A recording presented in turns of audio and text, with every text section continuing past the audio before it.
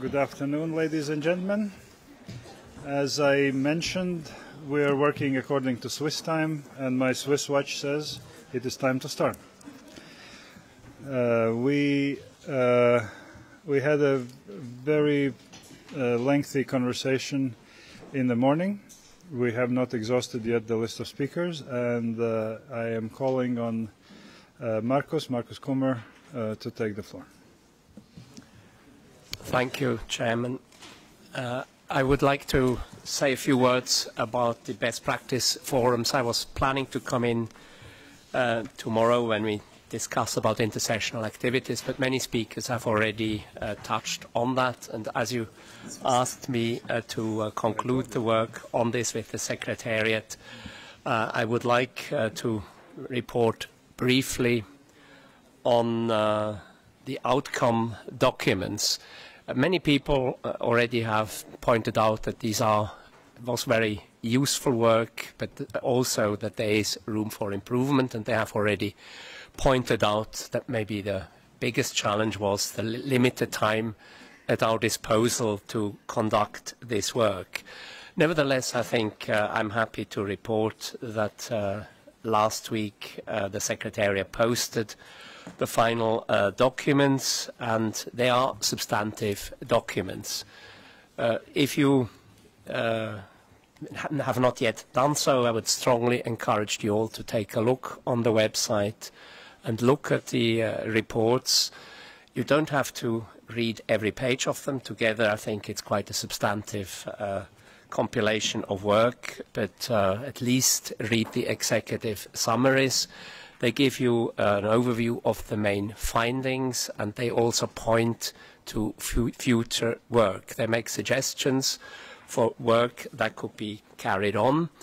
Uh, now, obviously, uh, there was limited time at the disposal uh, of the experts dealing with this work, so they are not to be considered to be the final truth on any of these issues, but they point towards uh, further elements that could be uh, deepened. And maybe not all of the uh, subject chosen were equally well suited for best practice forums. They essentially the original proposal uh, put forward by the Internet Society for reviving uh, best practice forums was to seek inspiration from the Internet Engineering Task Force to develop uh, outcomes that could be adopted on a voluntary basis. And that also points to what many people have already alluded to, that this should be seen as ongoing works, uh, that is a process where the annual meeting is a halt in the process, but it's not an end in itself, but it is a place where we can take stock and discuss on how to move forward. Uh, in my opinion, maybe the, those with the most uh, concrete practical outcomes were the best practice forums related to uh, spam and those on certs where actually the experts concluded that cert maybe was not the best definition and they suggested another uh, acronym and that is CSIRT and there are reasons for them to do so that can be read in the report. I don't want to uh, overextend my speaking slot, but uh, once again, uh, I think all the suggestions uh, deserve close attention on whether or not to continue the work, and it has also, of course, resource implications as the Secretariat will need to be staffed in accordance uh, with the workload uh, given, and also I think it will need considerable uh, work investment by the members of the uh, multi-stakeholder advisory group. Thank you for your attention. So thank you, thank you, Marius, sorry, Markus, for your report uh, and uh, suggestions. And let me use this opportunity to thank Constance and, and, and yourself for take, taking up and coordinating the work which uh, seems has uh, uh, received a lot of positive feedback and uh, seems to me will be continued also uh, next year. Uh, next on my list is uh, Lea Uh, Lea Kaspar, please. Thank you, Chairman. Um, as I'm speaking for the first time, I'd like to introduce myself. So my name is Lea Kaspar. I'm from Croatia, and I'm a new MAG member from the civil society community. Um, I'd like to reinforce a couple of points that were made this morning and perhaps strengthen one thing that uh, didn't come across as strongly as I would have hoped for. Um, in terms of looking back, I'd just like to echo the previous speakers uh, in recognizing the important steps that were made this year um, towards implementing recommendations for IGF improvements, especially through the work done in the best with the best practice forums. Not to join everyone who has thanked the work of uh, Constance and uh, the Secretariat and other MAG members in pushing that work forward. Um, this is closely related with the calls to set up and structure the intersessional work uh, going forward, and I uh, hope that we will have enough time tomorrow to discuss concrete proposals. I think at the end of this meeting, we would like to have concrete steps on how that's going to progress, uh, and I'll be happy to join that uh, that conversation. And some, just quickly, something on the on in going forward and the lessons from this year. Uh, the point that I'd like to emphasize, and this was touched upon in the synthesis report, it's about the need is about the need for to coordinate between uh, the need for coordination between the IGF and other forums and processes that are taking place. As we all know, and I mean, the IGF does not operate in a vacuum, and the relationships are two directional. So it's not only about what the IGF projects and the, what the comes out of the community discussions taking place here, um, but also what happens outside affects what happens with the IGF. Um, so on that in terms of the what happens outside and how it affects what we do here. One important thing is uh, that discussions happening right now in New York about IGF renewal, and uh, several spe speakers have mentioned this. And just a suggestion in that regards is for the MAG members and the MAG as a whole to be much more prominent communicator in the value of the IGF, the role of the IGF in the overall system. I think it was uh, my colleague from um, Macedonia who made the point about needing to have a communication strategy. And think we could do a better job in communicating and not just the value of the IGF, but also the progress that has, that has been made, particularly the last couple of years. So that's one point. And the second point, and building on that, is um, how the IGF community could be used as a proactive, just providing input into other processes and not just be reactive in terms of what's happening outside. Uh, perhaps an example is the WSIS review uh, taking place next year. Uh, I think it would be great if next year's IGF could look at um, a stable draft that is produced in November. But I do think that it is important to have something happening before that. I don't know whether it's feasible, but one way of doing it is to make sure that the intersessional work topics take on something that is relevant for these processes so that we have something happening before next year's IGF that we can then use to input into those processes going forward. Um, yeah, I'll stop there for now. Thank you very much. Okay, thank, thank you for your contribution. You did not sound at all as a, as a new uh, MAG member. You sounded already as a fully fledged and very experienced MAG member. So thank you. Um, ICC basis is next. And for the moment, the last. Ah. Please, ICC basis. Hello, everyone. Uh, my name is Elizabeth Thomas Raynaud, and I am the new uh, lead for the ICC Basis Secretariat. This is my first MAG as well. I'm not a MAG member, but I'm uh, very pleased to be here and uh, participating with, uh, with everyone. I'd like to uh, extend a personal thank you to the IGF Secretariat and MAG Chair for coordinating this meeting as well as the warm welcome and inclusion of all of us non-MAG members. ICC basis members wish to congratulate the host country of Turkey, the organizers, the IGF Secretariat team, the UN DESA on a successful event in 2014. We look forward to working with all of our stakeholders uh, to, to prepare another successful IGF in 2015. In the spirit of solidarity from one international organization secretariat team to another, let me express our special thanks and recognition to Chengetai Masango and the IGF Secretariat team whose professionalism and tireless efforts for the IGF and its community of stakeholders deserves very much appreciation. So a lot of discussion uh, has occurred already on the topic of intersessional work today. Business sees this as a very important and substantive new addition to the IGF 2015 program and beyond. In fact, ICC Basis has made a specific recommendation with regards to intersessional work in our written submission. We will share an abridged version of that proposal for discussion and consideration when the scheduled dis discussion comes up tomorrow. But I'll just highlight about six elements from that proposal for your consideration the first one is a linkage between intersessional work and the MAGTER summary for IGF 2014. We also want to speak about a process for inclusive, wide-ranging, and bottom-up stakeholder, multi-stakeholder views for inclusion in that intersessional work. And a process for managing the online engagement and face-to-face -face dialogue across stakeholder holders in the working groups, including the need to strengthen the Secretariat as a neutral, credible platform for facilitating these discussions. And a set of parameters in which the MAG needs to consider by which a theme for intersessional work can be chosen through a consensus process, linkages involving national and regional IGFs contributing to the intersessional work, and in turn usage of the intersessional work and output for substantive capacity building in country and in region, not just in 2014, 15, but, but beyond. And finally, we have recommended a topic for consideration, along with any others that might come in during the di discussions.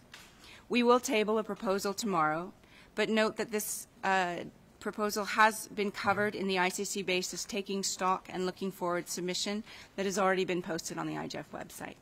Thank you. So, thank you very much. My apologies to Baher. Uh, simply Chengetai uh, hid the, the list from me. He just wanted to, to get over this agenda item. Baher, please. Uh, thank you, Janis. Uh, good afternoon, everyone. My name is Baher Esmat. I'm with ICANN. Um, this is going to be a quick um, intervention. Much has already been um, said. I just wanted to um, echo um, a couple of um, important points that have already been mentioned. Uh, one um, uh, was in relation to um, the um, uh, improvement um, of the IGF outcomes uh, and making them more uh, more visible.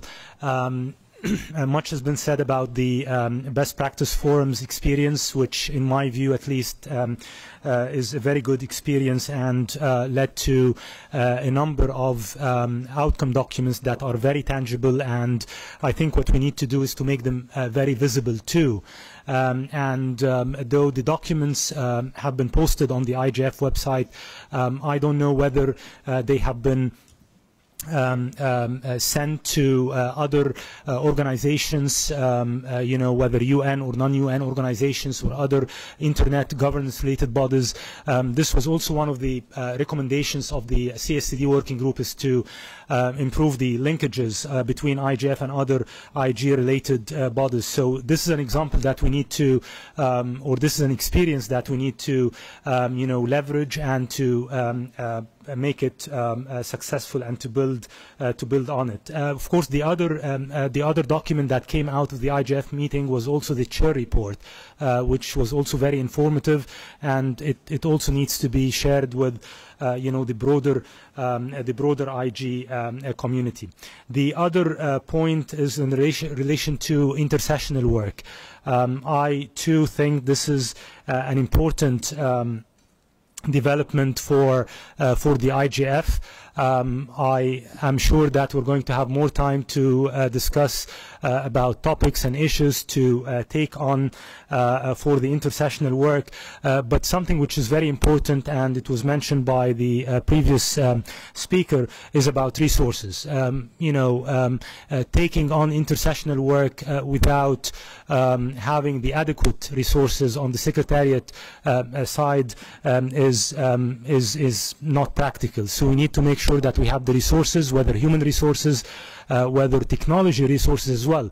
Talking about intersessional work that uh, would, um, uh, in my view, involve um, MAG as well as other non-MAG uh, members uh, requires um, um, online tools that um, enable um, uh, the broader uh, you know, community to participate and to engage. So we also need to make sure that we have such tools in place.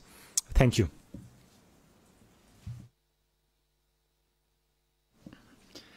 Thank you, Baher, for your comments and uh, advice. And now I'm turning to remote participant.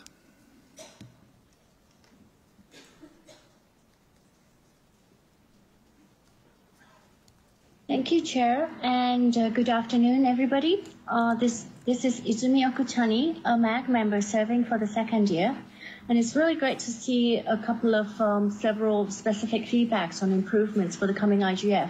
Actually, Boher has covered a lot of the things that I wanted to say, and I'd like to touch about intersessional work and transparency briefly. So um, I think I do echo with the need for um, more strengthening, strengthening intersessional work. And one possible approach is to address um, and building on what is already being done. And I'd like to raise Best Practices Forum as an example of work which was carried out in uh, 2014 and which received positive feedbacks. And this, of course, doesn't mean that the only intersessional work would be restricted to best practices. But I think there are things that we can learn from its experiences. It did demonstrate that um, we were able to work online and uh, through some teleconferences, mailing list, um, before and after the session.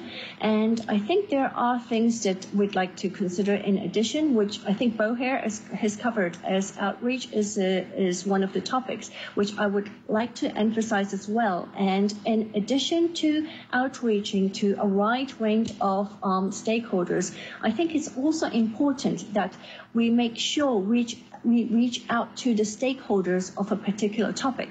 For example, if we take like intersessional work for IXPs, I think we really want to make sure that we reach out to IXPs and its customer at the minimum. And we want to be a little bit more strategic about uh, outreaching uh, when we consider intersessional work uh, so that uh, we're reaching out to the people who are affected and rather than leaving outreach on volunteer basis. So um, that's something that I'd like to talk um, mention about intersessional work. And I'd also lastly like to mention briefly about transparency. I think transparency on the contents and the program of the IGF is very important. And I did feel that uh, this year um, we did quite a good job um, on workshops, especially with Susan and Fiona's initiative in documenting workshop selection criteria. But one thing I would like to raise as an additional room for improvements is transparency for sessions which are not planned by MAG members. For example, I heard some feedback individually that it is not clear how speakers for opening and closing sessions are chosen.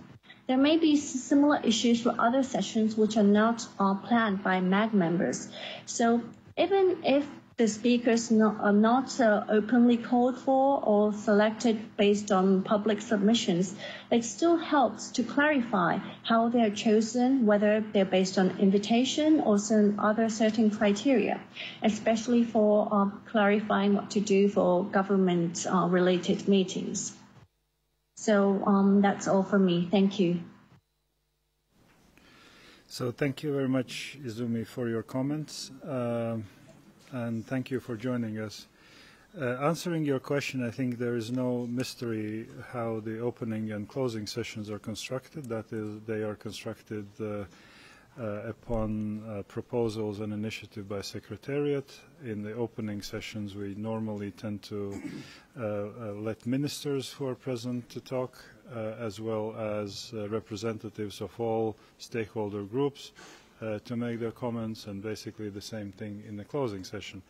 I, I see that Chengeta is very nervous, no, no, uh, looking, nervous, looking, looking at me, and maybe is discovering what, uh, how the uh, opening and, and closing sessions are constructed. I could expand. but but uh, in, es- in essence, that is that is how, how they are, and we, we we see if there are any specific issues that we need to address immediately uh, without any delay and, and, and so on. So uh, yeah, Chengeta, please uh, continue. Yes, as Jonas says, um, for governments, if a um, government minister comes, he gets to speak in the opening um, session.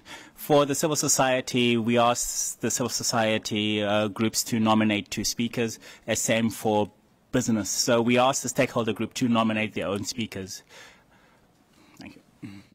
Thank you. So thank you for not contradicting me, because that is on the record.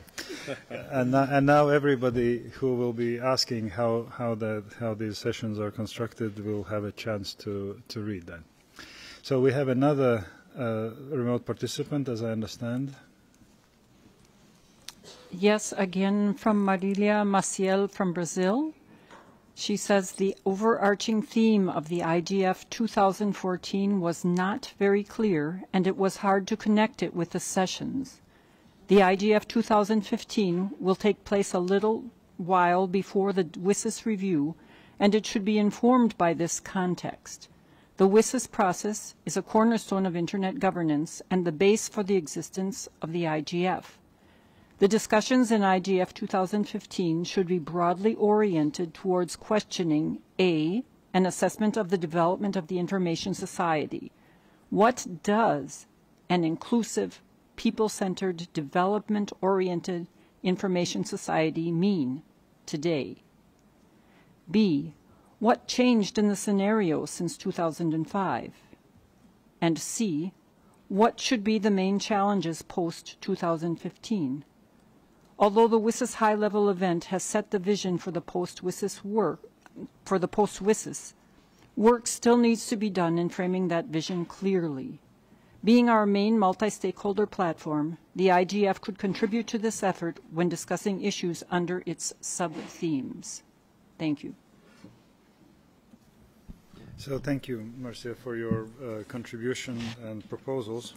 I, I, think that the overarching theme is uh, uh, full of symbolisms, and uh, and of course it's uh, rather abstract, um, and most probably will remain like this because uh, um, there is an attempt uh, to combine many different issues in in a very brief uh, sentence, and um, that is why that allows also a certain degree of interpretation. So I do not see any further requests for the floor, and I do not have. Um, uh, remote participants on this subject. So let me try maybe uh, to sum up uh, discussions. And um, um, what, what I heard uh, in these interventions was that uh, the uh, overall assessment of the IGF Istanbul meeting is very positive, and we need to continue uh, working advancing in, in the same direction with the same approach that we took in preparing Istanbul meeting to be guided by the um, uh, recommendations of the Working Group on Improvement of IGF and uh, to strive uh, to implement the recommendations uh, particularly on a number of issues. Those were uh, uh, seeking more tangible outputs uh, from IGF and better communicating them. I think that this this is uh, one of the key uh, that we need to look at very uh, seriously and see how um, well we can develop that that part of uh, our activities. Because if we look backwards and see the contributions or outputs of nine uh, previous IGFs, we certainly see that there is a wealth of documentation, wealth of knowledge, and uh, one cannot say that IGF hasn't produced anything. I think IGF has produced a, a lot of documentation, a lot of ideas, a lot of materials, a lot of knowledge, but that knowledge may not be uh, properly communicated and, and used. And, and uh, find the best way how to do communication uh, maybe is uh, something we should look at. Uh, best practice, uh, best practices uh, seems to me got really good traction and good reviews. Uh, the only thing uh, what was mentioned that there were not enough, there was not enough time uh, to uh, develop uh, materials, and I fully agree. And therefore, intention is to uh, discuss best practice teams uh, tomorrow and day after, and start the process uh, of uh, compilation of those best practices as soon as we will walk out of this room uh, on Wednesday evening. Uh, another element that I, I heard here in this discussion, but I do not recall reading in synthesis document, is trying to reach out those uh, communities or those industries particularly that haven't been present in IGF so far. And uh, I, I think that this is uh, something we need to uh, uh, think very strongly and find a way how to uh, get more fresh participants, fresh blood in uh, our enterprise. Um, the most uh, comments were received uh, about intersessional work uh, alongside with uh, caution that we need uh, not to overstretch and align our desires on intersessional work with our uh, resources, both financial resources and um, human resources.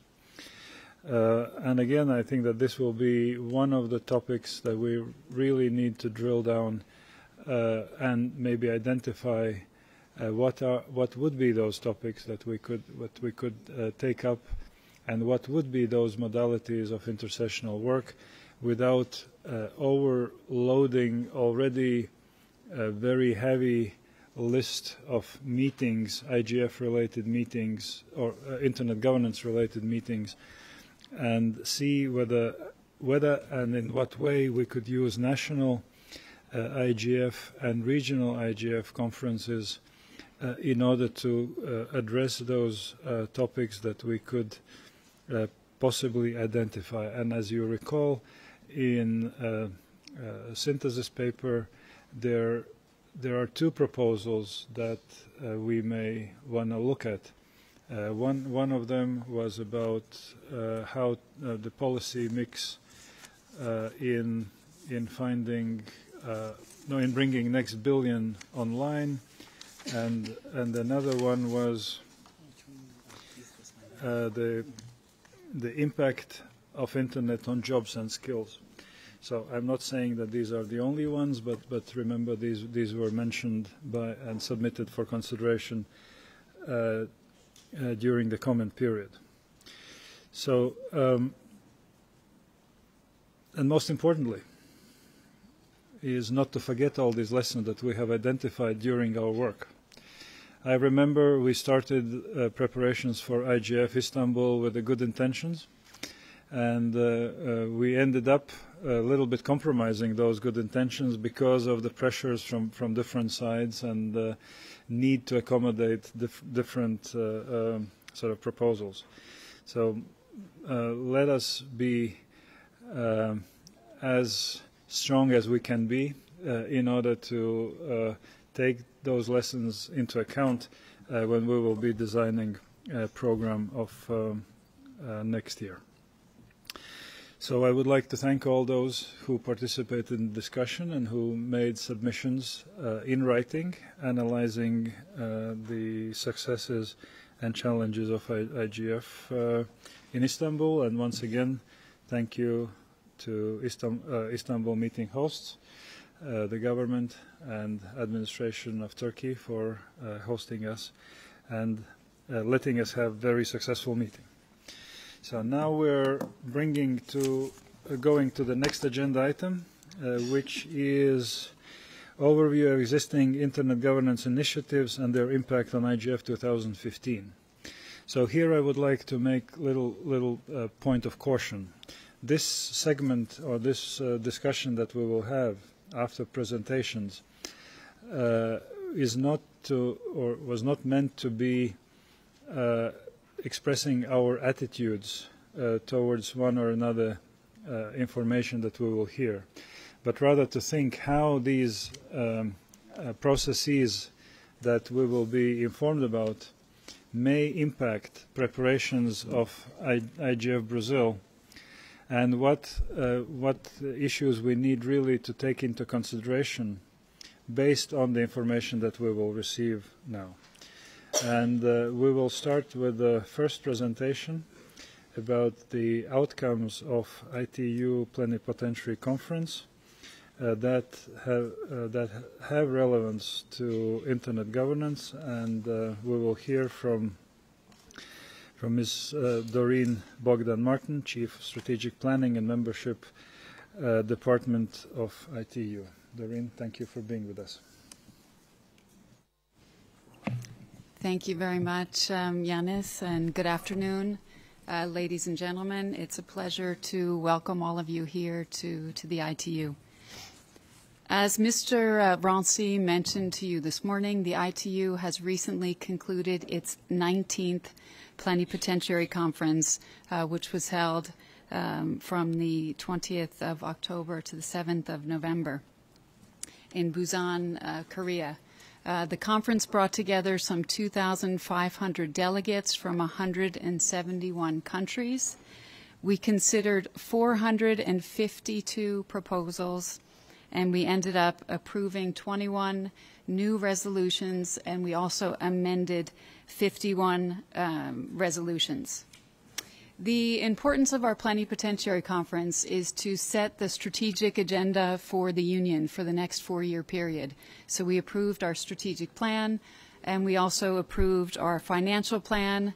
Uh, we elected the new ITU senior management, the 48 members of council, and the 12 members of our radio regulation board.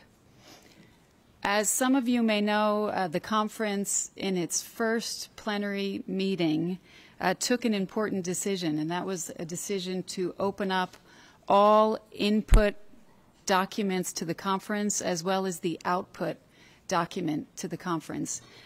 And that decision was reached very quickly by consensus, and it's important to underscore the word consensus because I think our pl plenipotentiary conference was so successful because from the first plenary session through until the end of the conference, all member states demonstrated that good spirit of consensus.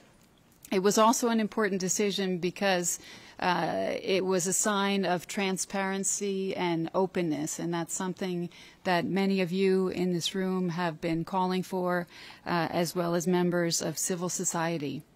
The conference also decided to open up the plenary uh, meetings and the substantive meetings of the committees uh, to um, non-password uh, protected um, webcast. So the webcast for those sessions uh, was open uh, to all, and we certainly had a lot of interest and a lot of a lot of followers in in those sessions. Uh, I would also like to mention that the conference did not have a single point of order, and we did not have any vote during those three weeks. Uh, we did have some difficult issues on the table. Uh, we had some very long hours, in particular on the internet resolutions. Uh, our chair of that particular group spent some 51 hours with many of you in this room. Uh, but the, the results were, were quite positive and, and we're very happy with, uh, with the outcome. The conference also introduced a number of, uh, of new innovations. We had our first ever uh, Gender Empowerment and Mainstreaming Award, uh, and one of the awardees is sitting in the back of this room uh, from, from APC. Uh, I would like to recognize her. She was awarded at our plenipotentiary conference uh, with, with six uh, other uh, amazing individuals and organizations.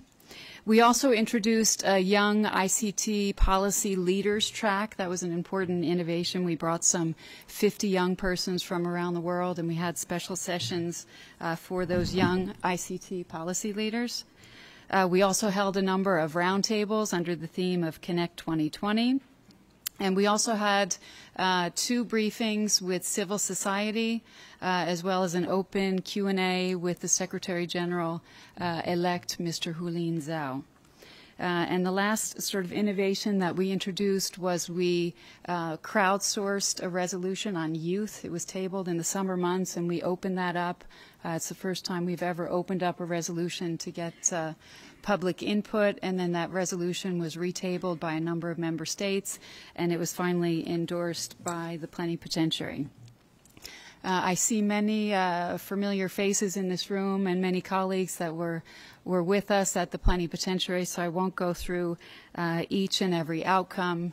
Um, in terms of big picture, as I mentioned, we did endorse our strategic plan. Uh, one thing I want to stress with the strategic plan, that's also a document that we put out for open consultation. Uh, we didn't get a huge take up, but I think it's a, a beginning of, uh, of a new way of working uh, here at the ITU.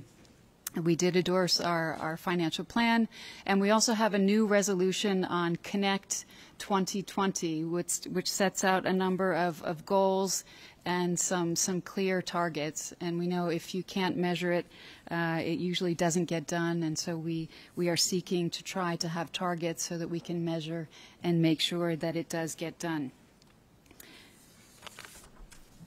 Just quickly on the Connect 2020 uh, goals, we have a goal on growth, we have a goal on inclusiveness, we have a goal on sustainability, and we have a goal on innovation. And those four goals will um, basically set the direction for the union over the next four years, but they are also uh, goals that are not for the organization uh, on its own, but something that we encourage all stakeholders uh, to take up and, and hope that we can achieve uh, by 2020. Uh, we also had some um, some great discussion on uh, on the WSIS on the WSIS plus 10 process, and our member states have asked us to uh, carry on hosting uh, the WSIS forum, which we intend to do. Uh, for the moment, the dates are set at the end of May, and of course, those decisions in the area of WSIS will be subject, of course, to those decisions that the General Assembly will take at the end of at the end of 2015. Uh, the conference, um, I would say, uh, reinforced uh, the union's role in the area of internet and, and cybersecurity. Um, the Council Working Group on Internet, International Internet Public Policy Issues uh, is now empowered to conduct both physical and online consultations. You may recall uh, that in the past it was just online, uh, and now we are very pleased that we can also do physical uh, consultations together with the Council Working Group uh, on International Internet Public Policy Issues. In terms of the Council Working Group on Child Online Protection, we are very pleased that the Plenipotentiary agreed to uh, open up that Council Working Group to all relevant stakeholders, and we think that's important, and it will certainly certainly bring the debate to uh, to a higher level. As well, in terms of that group, uh, the output documents that will come out of that council working group will also be open to the public. Uh, and we will also be holding one day online consultations for youth uh, the day prior to the council working group on child online protection. Uh, the conference also stressed the need for affordable international internet connectivity, and they also stressed the importance of multilingualism. Uh, and those of you that are familiar uh, with the ITU resolutions, that's Resolution 133, uh, and all member states um, encouraged uh, paying particular attention to the issue uh, of multilingualism. Uh, in terms of IXPs, of course, uh, uh, member states were encouraged to uh, establish IXPs, and ITU was encouraged to help uh, member states in the area of capacity building, in particular towards least developed countries. Uh, the urgency of facilitating the transition from IPv4 uh, to I- IPv6 uh, was also reiterated. and ITU was asked to continue uh, to work closely with other organizations, in particular in relation to capacity building efforts. Throughout these discussions, we saw uh, a recognition and an appreciation of the multi-stakeholderism process. Um, member states were particularly pleased with the multi-stakeholder preparatory process that was used to prepare the WSIS Plus 10 high-level event uh, earlier this year. And they were also pleased with the way that the informal experts group ran that prepared the WTPF uh, in 2013. There were a number of, uh, of other uh, resolutions that were uh, endorsed uh, one resolution in regards to academia. Uh, we had a new decision uh, regarding our academic members. Now, if they join ITU, they don't have to join a sector. They can join uh, the union as a whole. And so we're excited about implementing that resolutions. Uh, we also had a new resolution on, on flight um, tracking, and they will have their first meeting uh, this, this coming spring. We had a resolution on uh, using ICTs to combat Ebola. We had another new resolution on uh, protecting users and consumers, uh, a new resolution on youth, as I mentioned before, uh, a new resolution on combating counterfeit devices, um, a new resolution on the Internet of Things, uh, and a new one on connectivity of broadband uh, networks and, and many others. Uh, we do have uh, available online for free the, the final acts uh, as they were presented to the plenipotentiary conference, and the final, final document, once it gets numbered, will, um, will also be, um, be placed um, on the internet and will be available uh, for, for free. Um, and so as we, as we look forward to, to next year, um, the ITU will be celebrating next year its 150th anniversary. On May 17th, the ITU will turn uh, 150 years. Uh, we will be celebrating next year all year. Uh, although the theme um, for May 17th uh, is innovation and innovating with, with ICTs. We also have a number of themes that we will be celebrating uh, each month. And so we look forward to all of you joining us in those celebrations next year. But also, um, next year is really important for two uh, major processes. One I mentioned before, uh, WSIS plus 10, and the other one, and Janis, I believe you referred to this this morning, uh, it's the end of the MDGs and the beginning of the SDGs, the Sustainable Development Goals, and what we need to do is to make sure that those two uh, major global development agendas come together. Uh, and so we're very much looking forward to working with all of you, uh, not just for WSIS Plus 10, but also for the sustainable uh, development process. Today, uh, for those of you that are aware, uh, what's on the table are some 17 uh, sustainable development goals. Uh, if you look at those 17 goals, there are four references, only four, to ICTs. We need to work together to make sure that those references uh, that talk about the important role that information and communication technologies have to play uh, in the Sustainable Development Agenda, we need to make sure that those references stay there. Uh, and even better yet, if we have more references, because we all know that, um, that ICTs are key enablers uh, for the sustainable development process. So we do look forward to the year ahead with, with great optimism and, uh, and hope that we can count on all of you uh, to make sure that the post-2015 WSIS process and the post-2015 uh, development agenda process do come together. Thank you very much. So thank you very much, Doreen, for this um, exhaustive presentation and uh, congratulations on, I would qualify, easy sail during the, uh, uh, uh, plenipotentiary conference on discussions on these highly sensitive topics. So good, good outcome.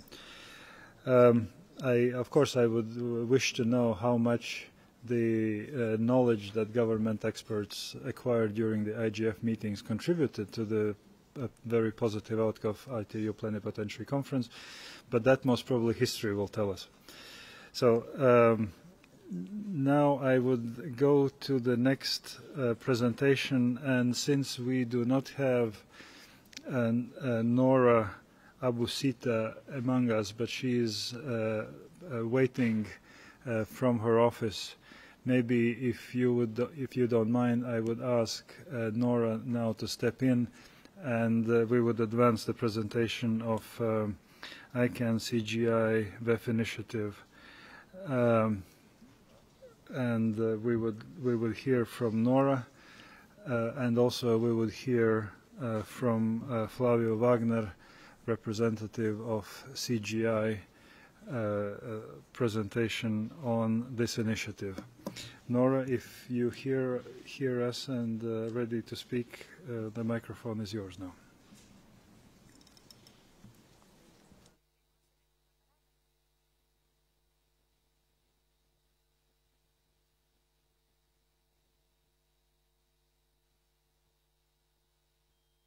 Okay, well, well then we're looking for Nora. Let us move then to the next uh, presenter as she's in. Okay, Nora, do you? Yes, I apologize. Okay. So please, the microphone is yours. Thank you. Uh, many thanks to all of you for inviting me to give you a very quick update on the Net Mundial initiative. Um, as a part of the Secretariat, I'm uh, very honored to be uh, with you today. Uh, I will give you a very quick overview of the initiative itself, and then uh, I'll spend a couple of minutes on the, the latest uh, developments. Uh, as you all know, uh, as a follow-up to the Net Mundial Sao Paulo meeting, uh, CGI.br, ICANN, and the WEF worked together to enable a platform that energizes bottom-up collaborative solutions towards a distributed internet governance ecosystem. Uh, this platform supports and enables the identification of collaborative solutions uh, that uh, address existing and emerging issues. Um, the platform is designed to contribute to the improvement of existing internet governance framework. It will focus on solution mapping and solution formulation, specifically for non-technical internet issues. Uh, this is an online platform, as you all know, it was launched on the 6th of November, and uh, currently the process is very iterative. Uh, the Secretariat's work is being overseen by a transitional committee that will be dissolved as soon as the uh, Coordination Council is established. The composition of the uh, uh, council is really very representative uh, geographically and sector. Uh, I think it's very important to note here that in order to affect the outcomes of this platform, participation is extremely important. Uh, most recently, there was a meeting of the transitional committee that really reflected uh, taking in feedback from community, whether from social media platform or from uh, over uh, from analyzing some of the comments that were submitted on um, uh, on the Net Mundial website and other areas and some changes were made to reflect those, uh, those suggestions. For example, uh, the five suggested permanent seats from the council that were originally announced are now removed. Uh, the council seats will be open to, to uh, as I said, to all geographies and to all sectors. Um, I'm happy to take any questions later. Um, so let me know if you want me to stick around or if you want to ask the questions now. So thank, thank you, Nora. Now let me first uh, uh, invite uh, Flavio Wagner from C, uh, CGI to uh, take the floor, and then, exceptionally, since you are uh, participating remotely, we will take questions on this particular issue, if, if, if there will be any, before moving to the next items. Flavio, please, you have the floor. So, thank you, Mr. Chairman. Uh, uh, the CGIBR, uh, the Brazil Internet Steering Committee, was one of the uh, entities uh, proposing this uh, Net Mundial initiative platform, uh, has been approached by many uh, stakeholder groups in the last uh, days or weeks, uh, asking for clarification about the platform. Uh, as Nora explained this uh, is still something uh, going on, so there are no uh, final decisions on, on nothing. In fact, is uh, open to contributions from the, the whole community. And because of this uh, situation that things are still moving on and still being defined, uh, the Brazil Internet Steering Committee uh, in, in um, its last meeting, uh, last Friday, decided to approve a, a clarification a statement that will be made public maybe today, but that I will read for you already now. It has been approved by all uh, board members of CGIBR. So uh, the Brazil Internet Steering Committee, CGIBR, in a meeting in November 28, uh, 2014, at its headquarters in São Paulo, while fully subscribing to the last public note on the Net Mundial initiative prepared by its working group on Internet governance as available in its uh, website, decided to provide these additional clarifications in view of the starting of preparations for the 10th edition of the Internet Governance Forum. Uh, first, the Net Mundial initiative aims to provide a platform for presentation and discussion of proposals and ideas that contribute to personalize the multi-stakeholder Net Mundial declaration, adopted at the end of the event with the same name in April uh, 2014, available on its respective uh, website. Uh, uh, second, on one hand, adherence to the principles for Internet governance contained at the Mundial, at Net Mundial Declaration is a requirement for the submission of proposals and ideas in the context of the Net Mundial initiative.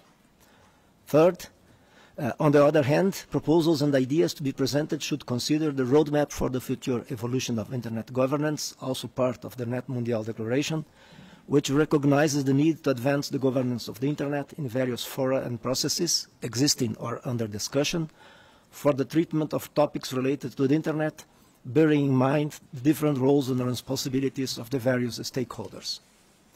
Fourth, the Net Mundial initiative is not intended to replace the existing or to be established Internet governance fora and processes, such as ICANN, IGF, any new fora on enhanced cooperation and on forwarding issues such as cybercrime and cybersecurity, among others. Fifth, working groups and spaces for discussion that may be created under the Net Mundial initiative will not have decision-making power over issues being discussed, nor will they constitute mechanisms for implementation of the proposed solutions, which should, as appropriate, be referred and remitted to proper fora and processes. Sixth, In particular, the Net Mundial initiative does not intend to overlap with the IGF. IGF's role to serve as a focal point for the global Internet community in terms of the tasks set by the Tunis agenda must be preserved. However, nothing prevents any concrete actions conceived within the Net Mundial initiative to be taken further in discussions at the IGF, to be forwarded to the IGF or to dialogue with the IGF at any time.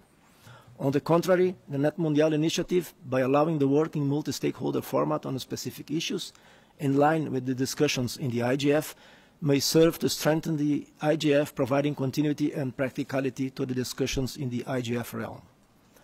Seventh, any questions or proposed solutions involving the government sector, such as cybercrime, for example, must necessarily be brought to the attention of national governments and or be channeled to existing or planned international processes. This procedure is consistent with the provisions of the Net Mundial Declaration, which recognizes that certain issues require international treatment, taking into account the role and responsibility of governments on specific topics related to their sovereignty. But at the same time reaffirms the need, even in these cases, that the discussions take place in a multi-stakeholder format. Eight, when selecting the members who will compose the Coordination Council of the Net Mundial Initiative, the Transitional Council will be guided by consensus within each community. Um, ninth, there will be no permanent seats in the Coordination Council for the initiators of the Net Mundial initiative, ICANN and CGIBR, with the support of the World Economic Forum. Once installed, the Coordination Council will establish modalities for the selection of future members by consensus. From its second term, every member should also go through a selection and validation process by the global multi-stakeholder community. It will be the task of the Coordination Council to ensure funding sources for further development of the initiative. 10. The initiators of the proposals, and in particular CGIBR, have been sensitive to the concerns and criticisms raised by members of the Internet community. Several modifications have been already introduced in relation to the proposal of the Net Mundial initiative originally drafted, and other, other changes are likely to be made to ensure that the initiative is structured so as to ensure the participation and involvement of all from the beginning. And 11, and last point, many questions and concerns that have been expressed should be mitigated on the basis of proposals and concrete ideas and of the confirmation, as appropriate, of working groups and specific discuss discussion fora. This will then demonstrate that the Net Mundial initiative intends to operate simply as a bridge between participants who have concrete proposals and ideas and others who are willing to contribute with expertise, funding, or other forms of contribution to achieve these proposals and ideas.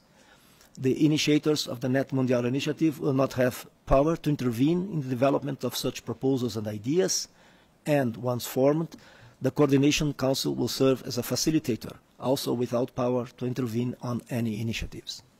So thank you, Mr. Chairman.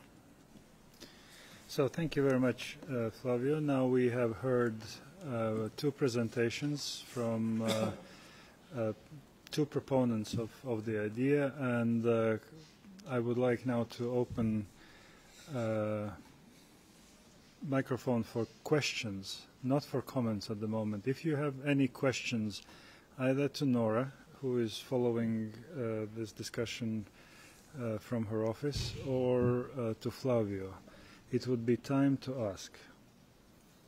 And I, while waiting, if there are any questions, my, my, my question, Nora, would be, if, if I understood correctly, so that there are no permanent seats in the council, and uh, the question which was uh, uh, asked to uh, IGF MAG uh, is also now off the table.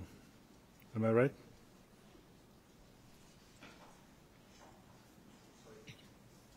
Thank you, uh, Janis. Uh, the invitation for, to the MAG to uh, uh, join the Coordination Council, of course, still holds. Uh, the participation of the IGF um, in the Net Mundial initiative is critical. Um, and so I hope uh, the fact that uh, there's no more permanent seats is not an indication that uh, the invitation is no longer on the table. On the contrary, uh, so I do hope that the MAG is, is still considering uh, participation in the coordination council. Uh, the fact that the, the, word permanent was removed was really a reflection of community feedback. the first year we will have these seats, and as Flavio mentioned, um, thereon after uh, all the members of the council will have to go through the same process to secure their membership. Uh, thank you for this clarification. It's crystal clear. The uh, modalities or suggested modalities for the council uh, most probably could be found on, on the website. Uh, and I have a, a Netherlands uh, for the question.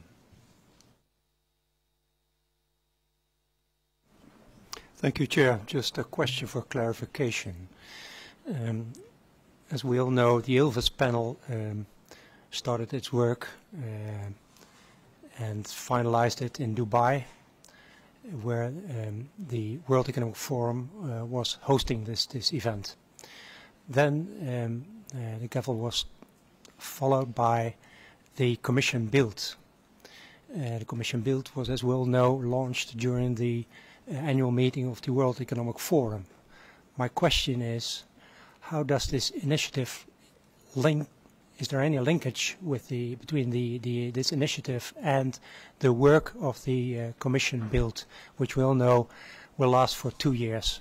Thank you. So thank you, Arnold, for question. Any further questions? There is uh, Ginger, yourself, please. Uh, my question is for Flavio. I, um, it's referencing that the Net Mundial initiative will be guided by stakeholder group recommendations for the Coordination Council. I'm, I would like to ask who will make the final decisions then if you're going to be guided by the stakeholder recommendations. Thank you. So thank you. Marilyn Cade. Thank you. My name is Marilyn Cade. My question, I think, will probably go to both uh, Nora and also Flavio.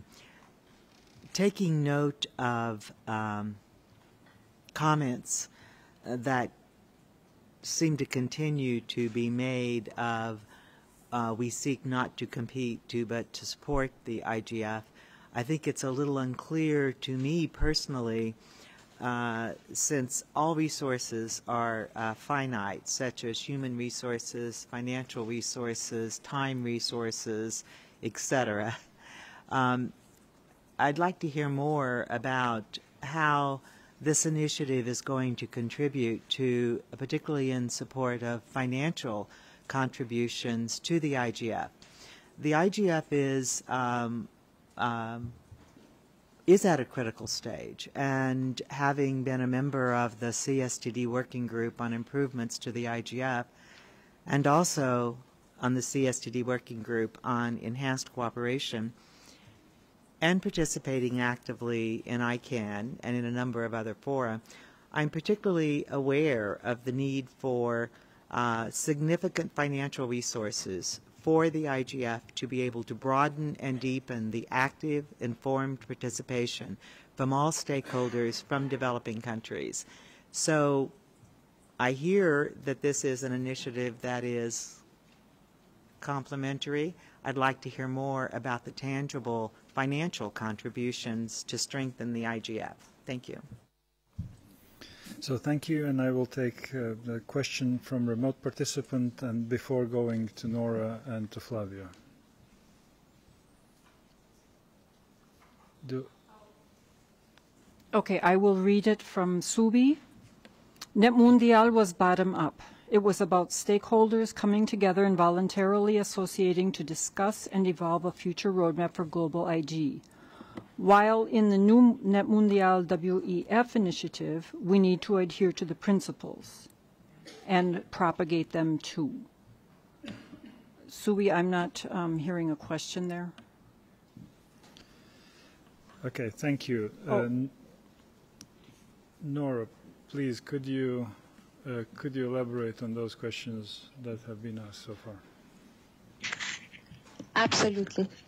Uh, thank you for the questions. Uh, on the first uh, point, uh, which is the relationship of the Bildt uh, Commission to the Net Mundial initiative, I think both the two serve different goals. Um, the Net Mundial initiative will take into account any work that's being done on internet governance.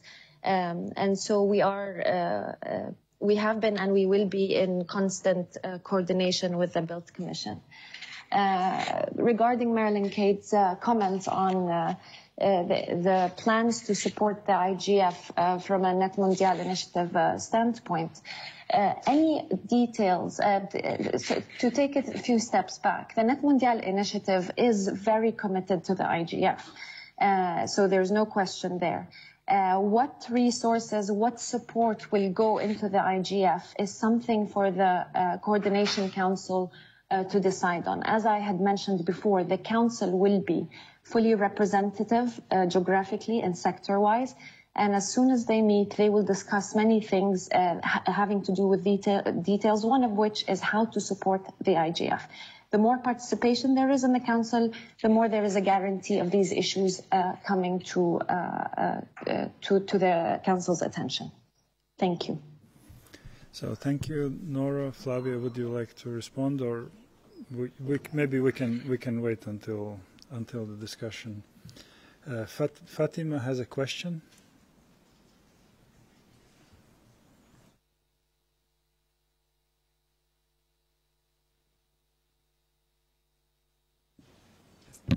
Yes, thanks, uh, Mr. Chair. My question is for Nora, and is uh, is ICANN staff or ICANN corporation going to have a consultation with the ICANN community about the involvement in, involvement in the Net Mundial initiative? Thank you. So thank you. Any other questions? Uh, there is uh, one uh, from Subi. Finally, question? No? Okay, so, something else, please. Anriette uh, from APC asked me to clarify As a member of the Bildt Commission, properly known as the Global Commission on Internet Governance, I can share that it is in completely independent from the Net Mundial Initiative or any other Internet governance forum or platform. It is currently completing research on the topic of Internet fragmentation and Internet governance and will re release a report in the course of 2015. So thank you. Anna? Ana Neves, question? Uh, thank you very much. And uh, I would like to thank to, uh, to both of you that uh, uh, tried to explain what this Net Mundial initiative is. Unfortunately, I, I didn't understand. So, uh, but it, it should be my fault.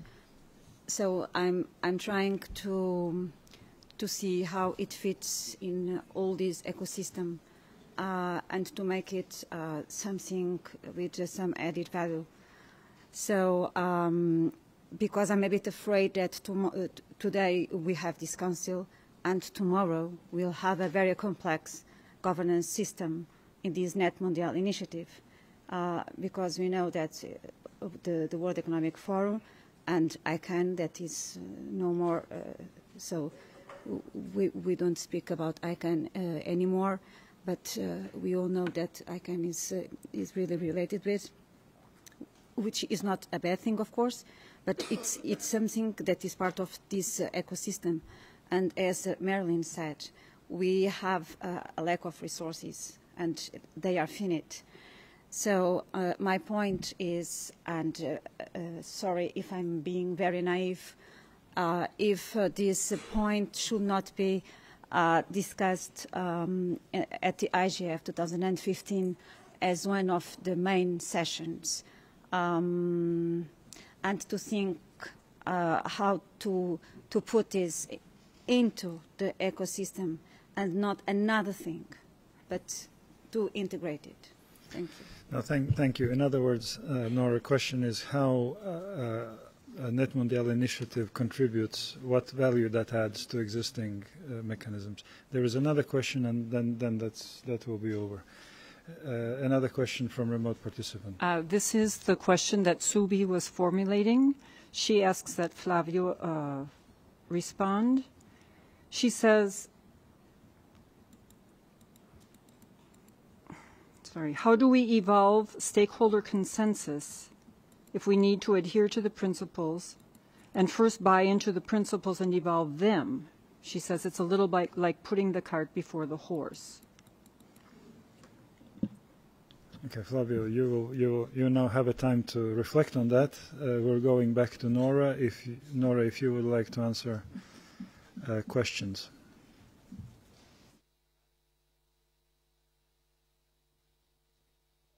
Yes, uh, thank you. Uh, to Fatima's question about uh, an ICANN public consultation, uh, I'd like to point out that ICANN is one of the enablers of uh, of the Net Mundial initiative. Every uh, entity that is involved has donated the time of a staff member to be part of the secretariat. Um, uh, we do intend to update our community uh, in the upcoming Singapore meeting, uh, but no public consultation is planned as of yet. Uh, the other important uh, point to note to all of you here is that on uh, Thursday, this coming Thursday, there will be an open call for the community. it's a Q&A session with the three uh, organizations uh, that basically will allow you to ask any questions and get uh, more uh, detailed information from the transitional committee. Uh, the details of those will be on the Net Mundial website. Um, uh, now, how does the Net Mundial initiative fit into the ecosystem? It is yet another um, initiative that complements existing efforts. Uh, it's not here to replace any of them. It's not here to take over any of them. Uh, it is really another uh, way of, of complementing the existing uh, uh, initiatives. Now, uh, we do understand the point about uh, the resources being limited. Uh, what this initiative is doing is bringing new players uh, into uh, into the mix, and so the involvement of, of the World Economic Forum um, and the, the the link between uh, the Net Mundial initiative and other initiatives such as the WEF initiative in Davos on internet governance will really open up the discussion and bring in more um, more contributors than we've uh, um, classically seen. Thank, thank you very much, Nora. Uh, if you can uh, stay on, uh, please do. If you need to leave, uh, thank you for your contribution to, to, these, um, uh, to this discussion. And uh, we will continue with other presentations and we'll, and we'll, we'll, we'll come back uh, after other presentations. So thank you, Nora, for that. Uh, Flavio, now floor is yours. Yeah, I think I, have, I want to uh, uh, answers. One is to Ginger, I think, about the, the, the choice of the uh, seats uh, for the Coordination Council, for instance, with civil society.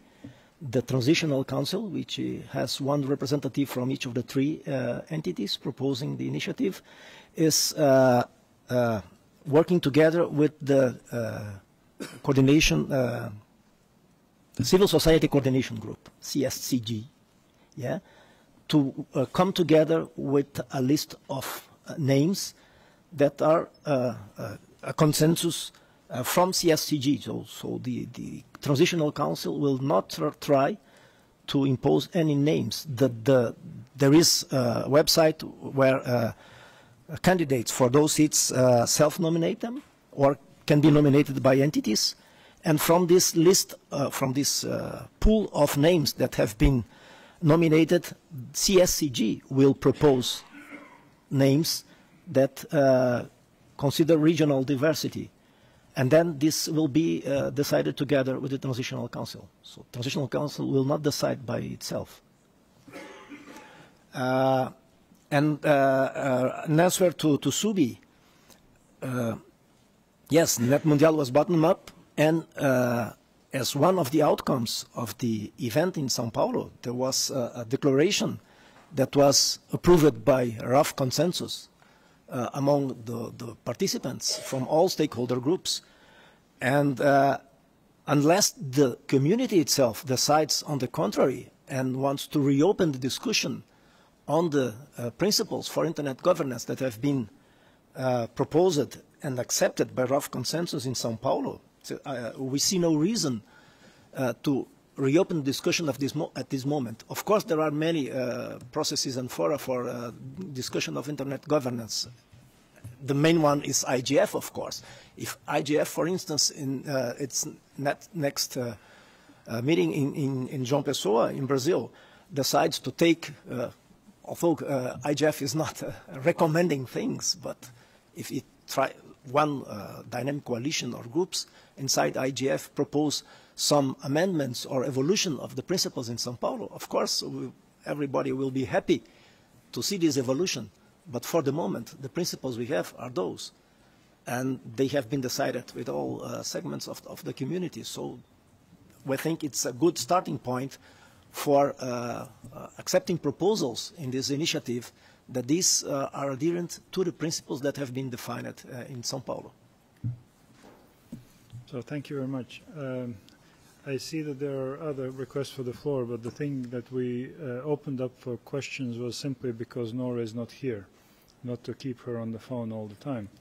So what I would like to suggest that maybe we proceed with other presentations and then uh, four requests for the floor, uh, Cheryl, Virat, ICC BASIS, and Cisco, we would take immediately as a first four que uh, questions or comments uh, in, in the subsequent discussion. Would, you, would that be agreeable? Thank you. Now then, uh, let us move to uh, next presentation. That is Commission Science and Technology for Development WSIS plus 10 uh, review. Uh, presentation will be made by Ms. Mervi Kultamaa, WSIS coordinator from Division on Technology and Logistics of UNCTAD. Mervi, floor is yours. Thank you very much, Janis. Um, it's a pleasure to be here today to represent uh, CSTD and, and UNCTAD. As many of you know, um, I'm a former MAG member, and it's nice to see so many familiar faces here today. Um, I will begin uh, by a quick review of the ECOSOC uh, resolution which mandated the CSTD to conduct uh, its 10-year review, and then I will present the work that the Secretariat has done to collect inputs from all stakeholders for the review. I will then talk a little about um, the draft 10-year uh, review report that the Secretariat has made available for the CSTD. And uh, finally, um, I will uh, brief you on the way forward uh, on the review and the discussion that took place um, last week uh, in the CSTD intersessional panel on, on this issue.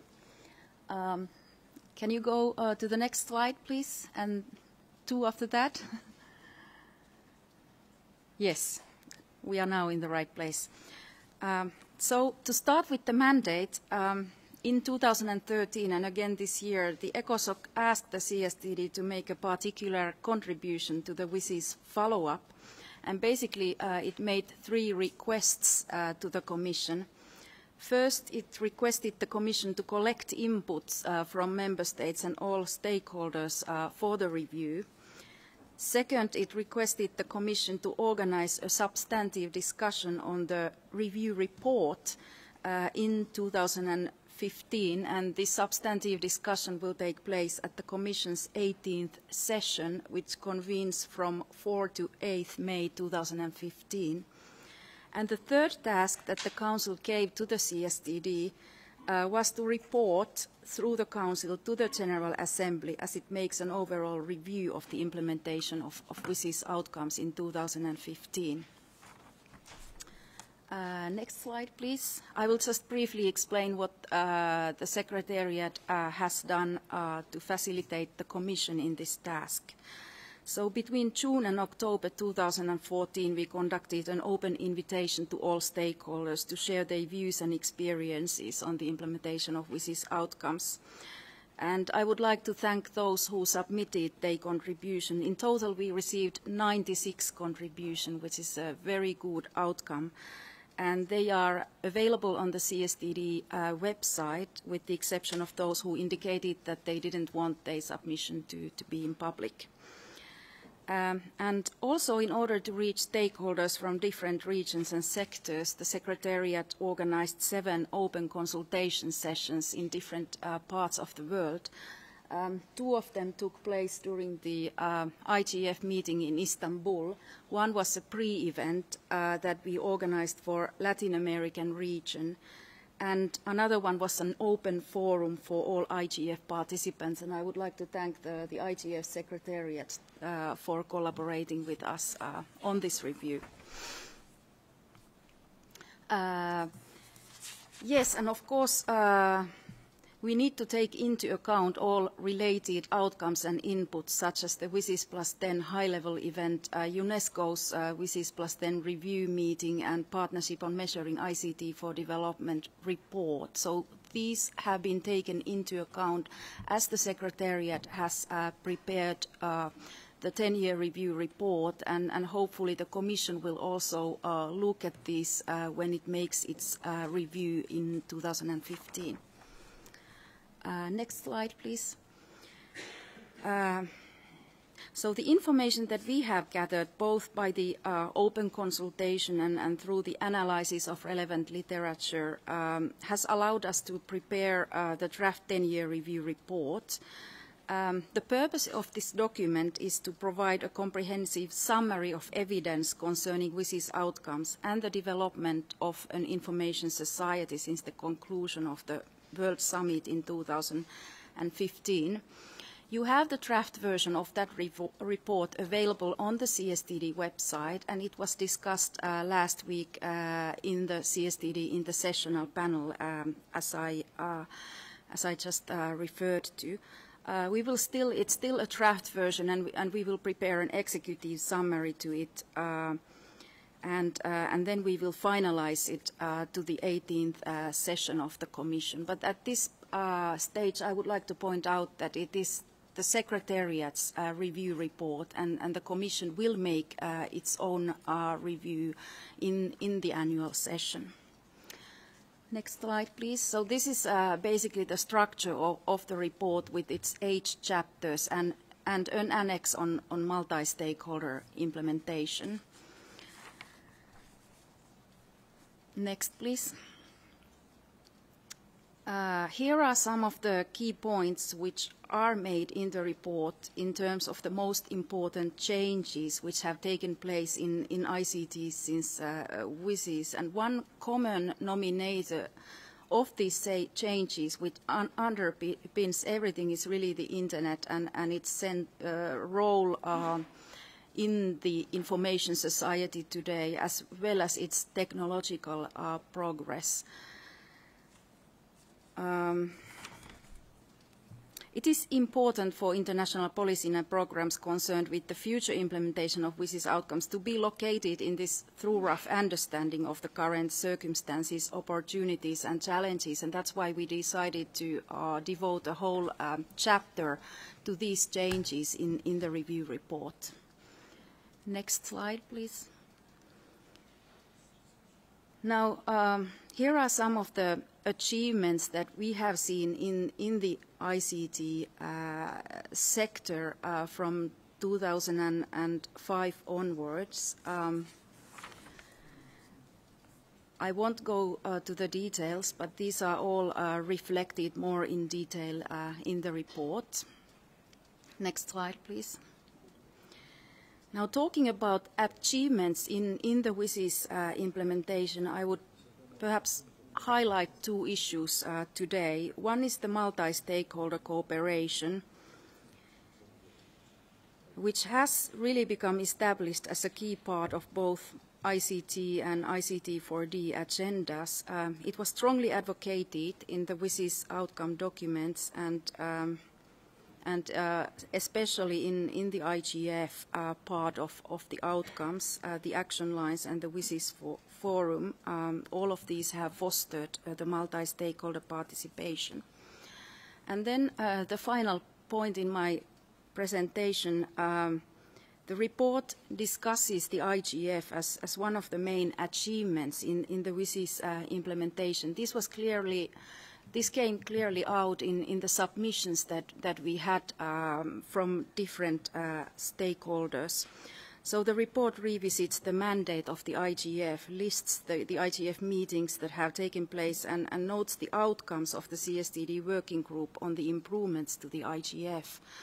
Um, for example, uh, UNDESA commented uh, in its submission that the IGF has matured over the years now routinely discussing issues which were once considered too controversial for multi-stakeholder cooperation, such as critical internet resources and, and, human rights. So we note some of these uh, inputs in the report, but also the fact that There were some more critical voices of IGF's performance um, among the contributors, but these were, of course, in, in minority.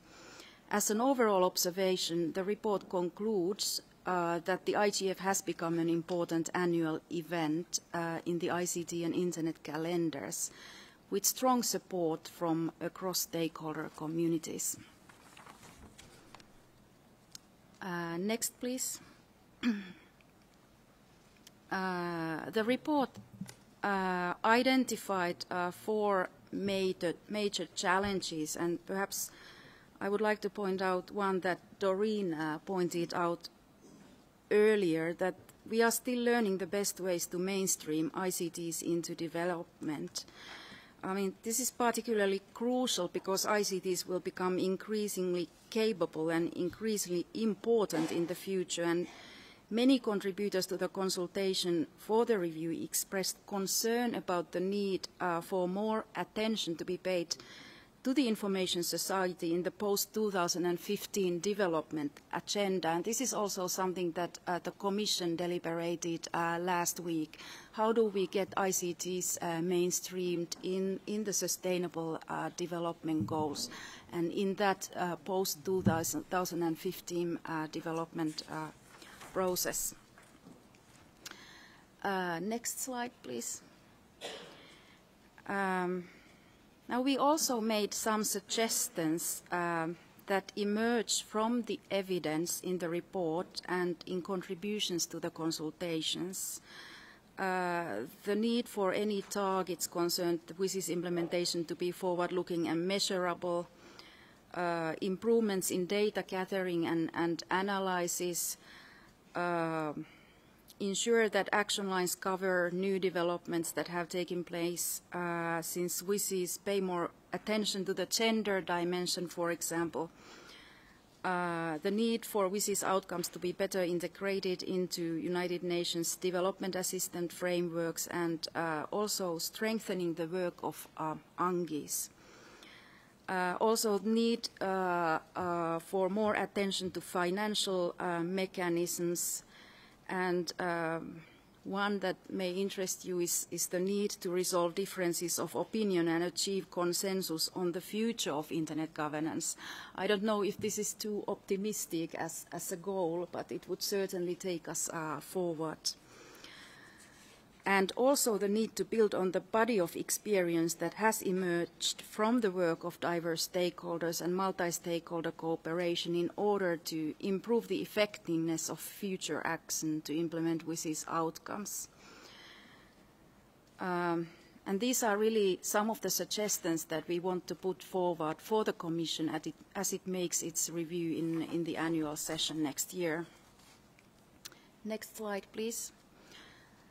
So as I mentioned um, in the intersessional panel uh, la uh, last week, uh, one whole day was devoted to the discussion on the, on the 10-year review. Uh, that was Friday. Uh, we had the presidents of the two phases of the summit who gave us uh, their views. Thank you, Janis, for, for being there with us. Um, and we had a lively di discussion on the draft report and, and on the 10-year review in, in general. Um, the Secretariat got the feeling that there was a general um, satisfaction in the content of, of our review uh, report, even though there were a number of comments that were made for further adjust, adjustments such as addendums, deletions, or making the rep report more balanced so that different options could be reflected. Uh, this uh, applied particularly to, to, the enhanced cooperation part of the text, which we uh, knew would be perhaps uh, most discussed. And um, we gave a two-week uh, period uh, to send comments in writing if you have any comments on the draft re review report, which is made available uh, on the CSTD website, I would encourage you to, to uh, send uh, them to us in writing. You can see the, um, the e uh, email address uh, on the screen. Next slide, please. And finally, the Commission discussed the way forward with the report and, and with the 10-year review. So the report is going to be finalized by the Secretariat after this two-week uh, period has uh, concluded, and it will be submitted as final uh, publication to the 18th annual session. Actually, we have to finalize the report already in mid-January for it to be uh, made available as a final publication uh, in May. Uh, so it will uh, be uh, an information document for the Commission as it makes its own 10-year review report uh, or 10-year review during the annual session. And the outcome of that review, whichever format it takes, will then be submitted through the ECOSOC to the General Assembly. And uh, it will constitute an input from the CSTD 10-year, uh, from the CSTD that to the General Assembly as it carries out the overall review of WSIS outcomes uh, around December uh, 2015. Um, uh, well, with that, um, I will hand it back to the chair, and I'm available for any questions that or comments that may arise. Thank you for your attention. Thank you very much, Mary, for this presentation, and, and I think we will go through all presentations, and then we will uh, do the uh, Q&A session on all, all uh, uh, five of those presentations. So let me now turn uh, to the next uh, speaker, and that, that is uh, Mr. Uh, Peter Major. Uh, he is a special advisor of the Permanent Mission of Hungary to the United Nations, and he is the chair, chairman of the Working Group on Enhanced Cooperation. And we would like to hear from him a brief report on the outcome, outcomes of this uh, working group. Peter, please, the floor is yours. Thank you, Janis. It's really nice to be here back in the ITU, uh, which I used to work for 23 years. Uh, Janis, you mentioned that uh, uh, I was, or I'm the chair of the working group on enhanced cooperation, and probably many of us don't even have a clue what enhanced cooperation is. Uh, I think you are the best person to clarify it. If not, well, eventually give some background, but I, I spare you from that. So enhanced cooperation uh, just popped up in the Tunis agenda, which you know, I think, all of you by heart. Uh, in most really, uh, internet governance-related meetings, uh, participants usually quote eventually by heart or usually take the booklet and quote the appropriate paragraphs, what they think is appropriate. And in particular, with regards to enhanced cooperation, it's paragraph 69, which says we further recognize the need for enhanced cooperation in the future to enable governments on an equal footing to carry out their roles and responsibilities in international public policy issues pertaining to the Internet, but not in the day-to-day -day technical and operational matters. So that is one of the key paragraphs. And of course, uh, the other one is the process towards enhanced cooperation to be started by the UN Secretary General, involving all relevant organizations by the end of first quarter of 2006. Uh, if I'm not mistaken, we are in 2014. Uh, well, uh, I don't want to imply that nothing happened because it wouldn't be right. So uh, after some hesitation and some really interesting consultations within the UN, within the Commission on Science and Technology for Development, the United Nations General Assembly by the end of 2012 uh, in its resolution invited the chair of the Commission of Science and Technology for Development to establish a working group on enhanced cooperation to examine the mandate of the WSIS regarding enhanced cooperation through seeking, compiling and reviewing inputs from all member states and all other stakeholders and to make recommendations on how to fully implement this mandate. And this group was to report on the 17th session of the CSTD. Uh, the resolution is usual UN language, very well balanced. Uh, what is important to note from that, that it is a multi-stakeholder working group within the UN system. So the process itself, after the resolution, the CSTD uh, created the working group in consultation with the appropriate stakeholder groups who nominated their uh, participants in the working group and uh, basically the working group was established uh, similarly to the previous one, which was already mentioned uh, during many occasions, that is the working group on, on the improvements to the IGF. This multi-stakeholder working group uh, had uh, uh, 46 members, I believe, 22 member states and 42 members, 22 member states and five, five representatives from other stakeholder groups. Uh, we try to work in compliance with the mandate and uh, in a multi-stakeholder approach, in mutual trust, try to achieve some results-based consensus. And of course, observers uh, uh, were allowed to attend the meetings either physically or remotely. So uh, everything seemed to be very bright at the very beginning. We had four physical meetings. Uh, and in the first meeting, we compiled a questionnaire But usually what you do is you, you just reach out to the stakeholders and you, you come up with a questionnaire asking their opinions related to the particular topic, this time about enhanced cooperation. And this questionnaire was uh, uh, contained about 18 questions. And we received pretty good uh, uh, pretty good responses to the question. There were, I think, close to 70 uh, contributions, and the question was quite lengthy because we had 18 questions. So we evaluated the questions, and it turned out that in case we want to have the full compilation, we are, have to deal with a, a document of 1,000 pages. I know that you love to read 1,000 pages in, in the, uh, but I am not very sure that this is the most efficient way, so we decided to uh, ask the Secretariat to prepare a, a shorter document, and in the end we came up with a 25-page document, which was uh, kind of manageable.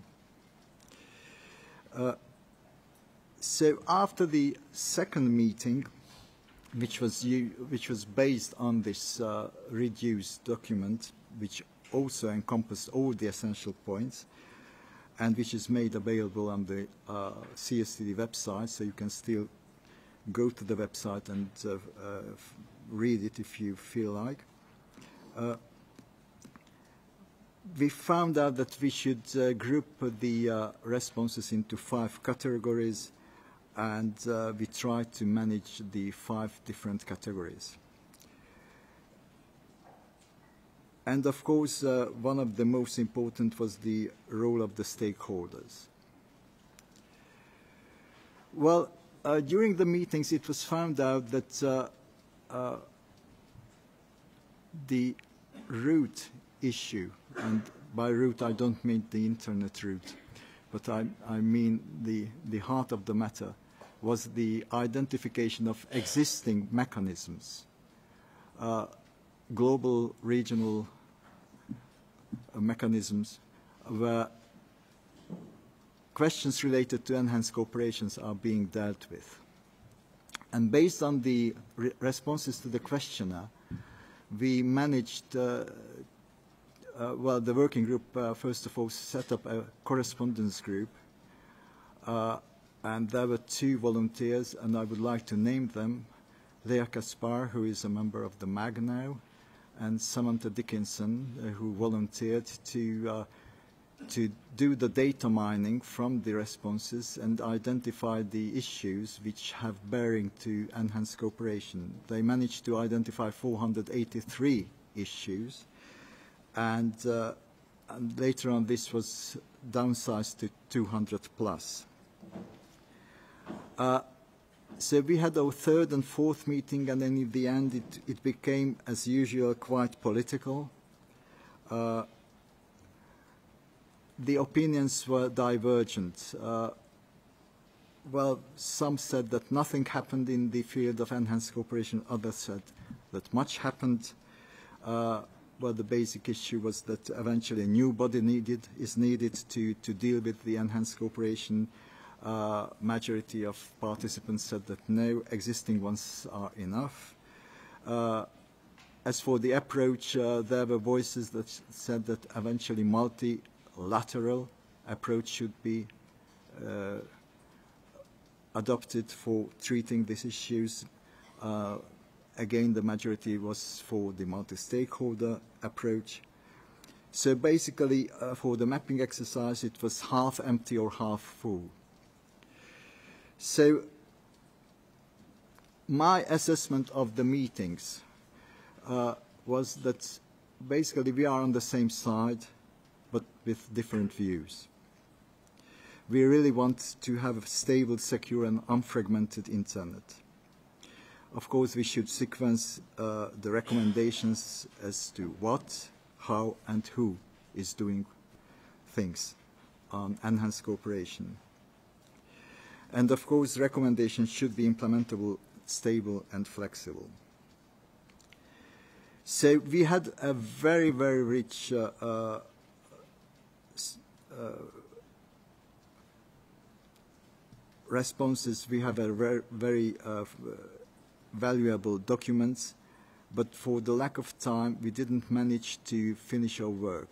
If you think about it, we had about one year to, to work on that. So compared to the previous eight years, uh, I think we have uh, managed uh, not too bad. So it has already been mentioned that there was a resolution of the ECOSOC. ECOSOC means uh, Economic and Social Council of the United Nations. I know that you love abbreviations, and all of you are familiar with all the abbreviations we are saying here, so that's why I'm telling you ECOSOC is Economic and Social Council. And its resolution, the Economic, Economic uh, Social Council of the UN asked for continuation of the mapping exercise, uh, which was the essence of the work, or one of the main points of the work, and asked the CST, the Secretariat, to continue this work.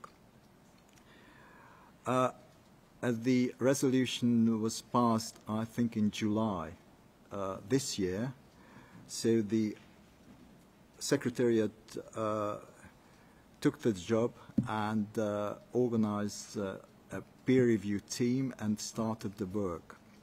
Uh, in a two months' time, I believe the Secretary provided a very, very good report on the results of the mapping exercise.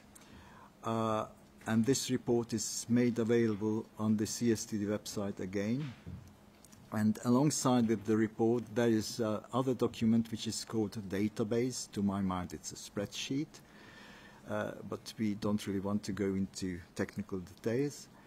So uh, you are also encouraged to look into that. And the reason for it, that during the intersessional, session, intersessional meeting of the CSTD last week, we had a two and a half hour session on the mapping exercise, and there were many, many views announced.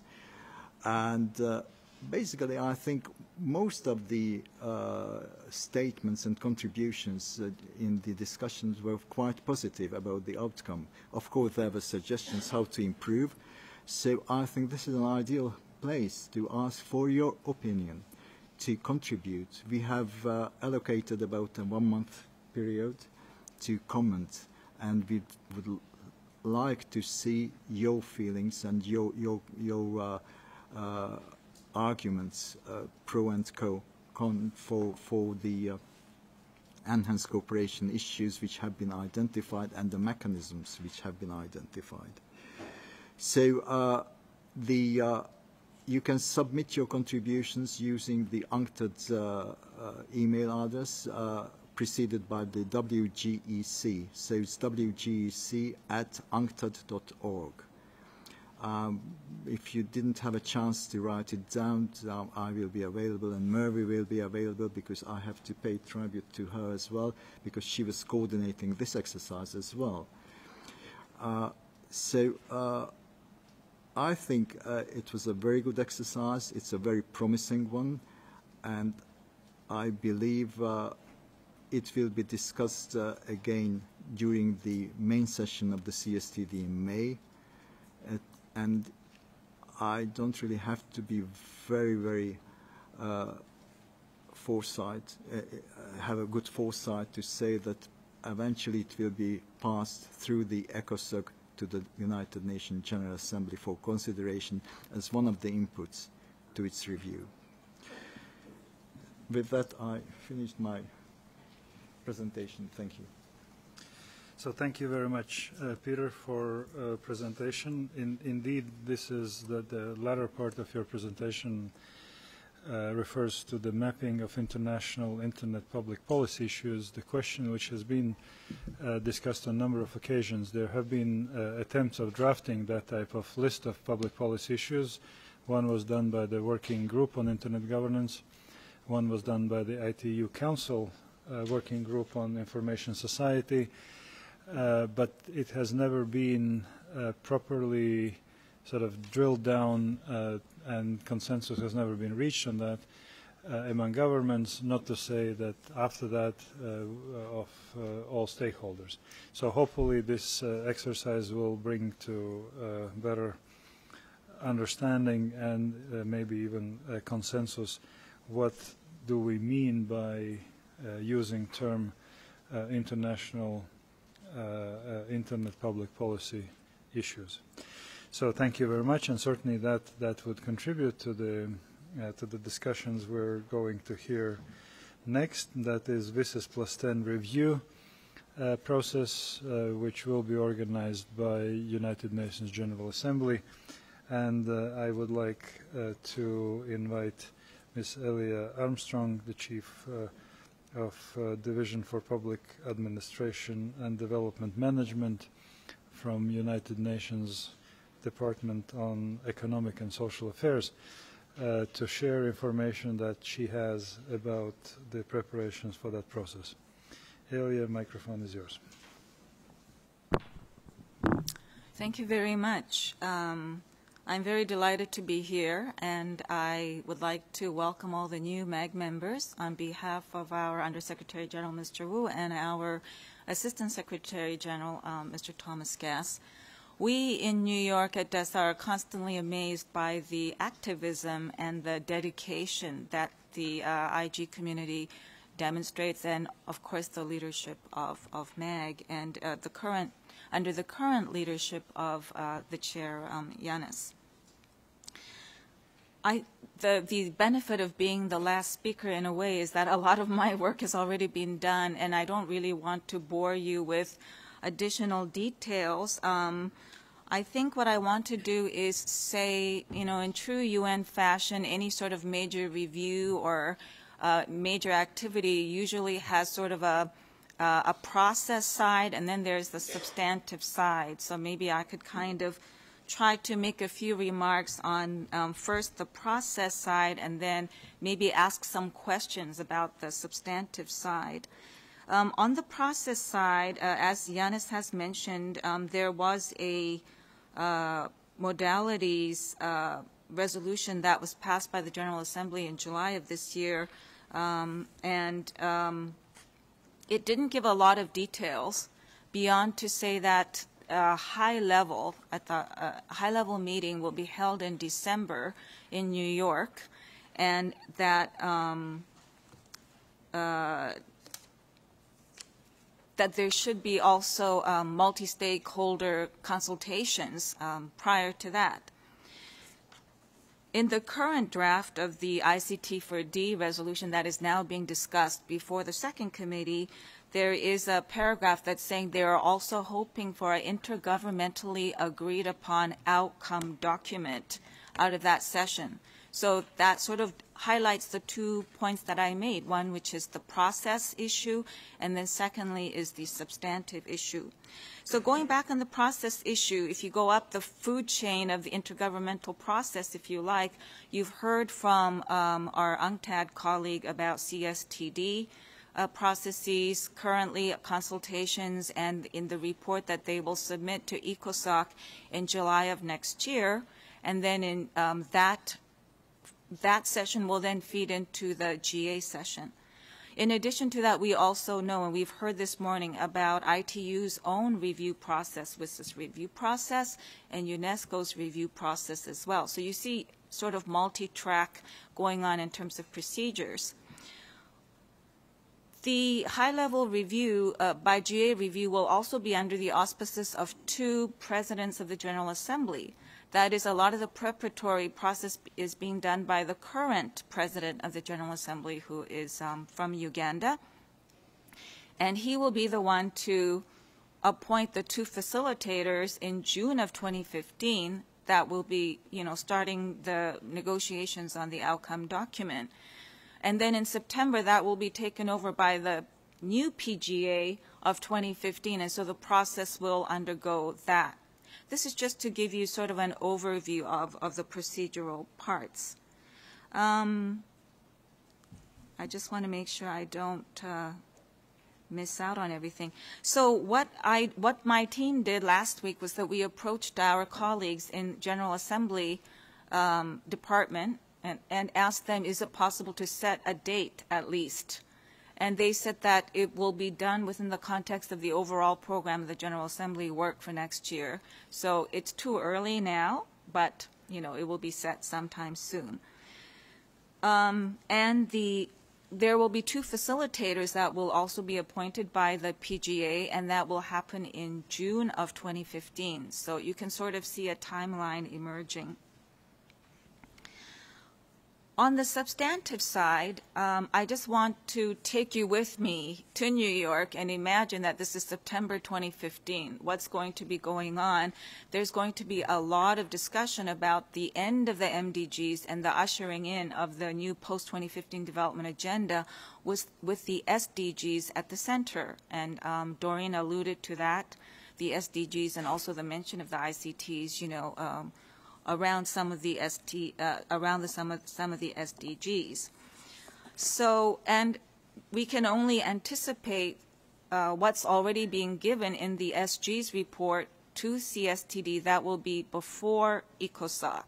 So we are hoping that somehow the two tracks, the discussion of the post-2015 development agenda will not conclude without a really firm placing of the role of ICTs and WSIS and, of course, Internet governance um, in all of this. And the trick is how to bring the traffic together so that you come out in one car, come out of the same tunnel, something like that.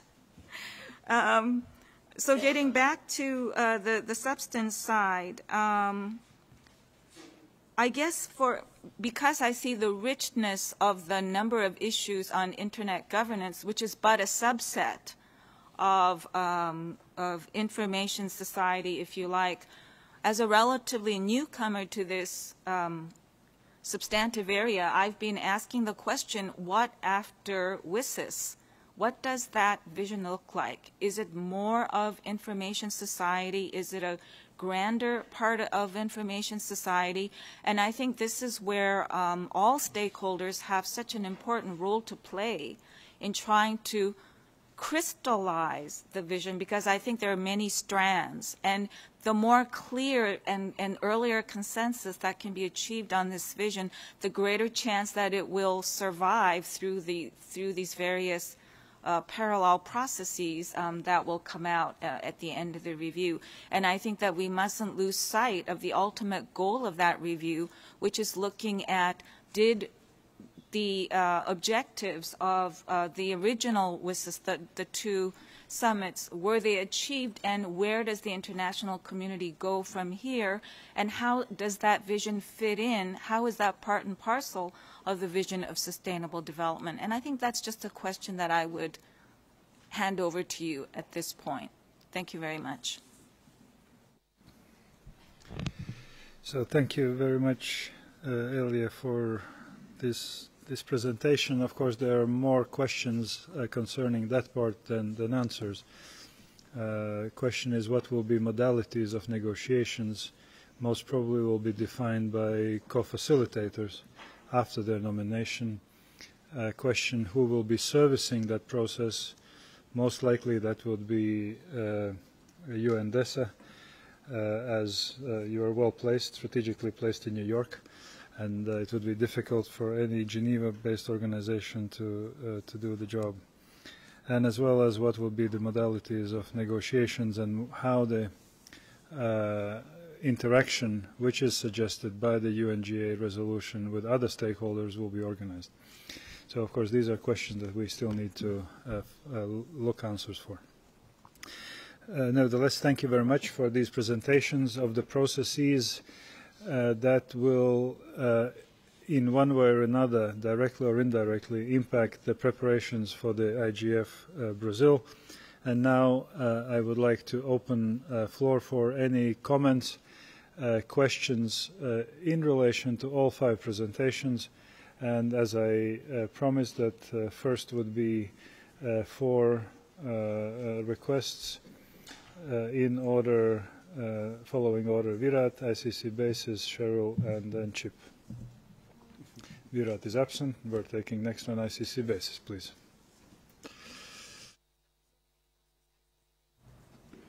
Thank you.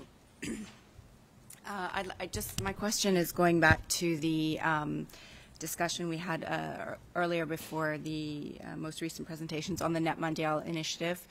Um, ICC Basis has submitted a letter to the um, Transitional Council with a, a, a, long list of detailed questions, and uh, in particular, those questions are, are, are, addressing issues around the difficulties uh, of practically participating for some uh, stakeholders and, and uh, individuals.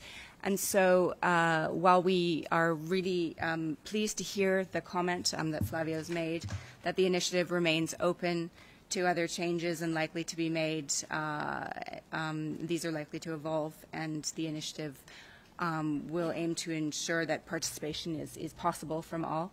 Uh, we were wondering about what uh, the next steps were and when we might um, be able to have uh, some re detailed responses to these questions because they are uh, quite extensive. We noted in, in, in one case uh, that that question was addressed, but for the rest of them, we'd like to know. Thank you. So thank, thank you. Uh, I think that I would suggest that we collect all the questions and then uh, I would I will ask uh, all presenters to uh, respond to all, all of them at the same time. Uh, Virat, please. Thank you, Chair. um, thank you and congratulations to all the presenters and um, outstanding um, summaries of the discussions and the importance as it links back to the internet governance. In fact, the last IGF, as you're aware, held a main session uh, in the linkages, and I hope we can do more work there.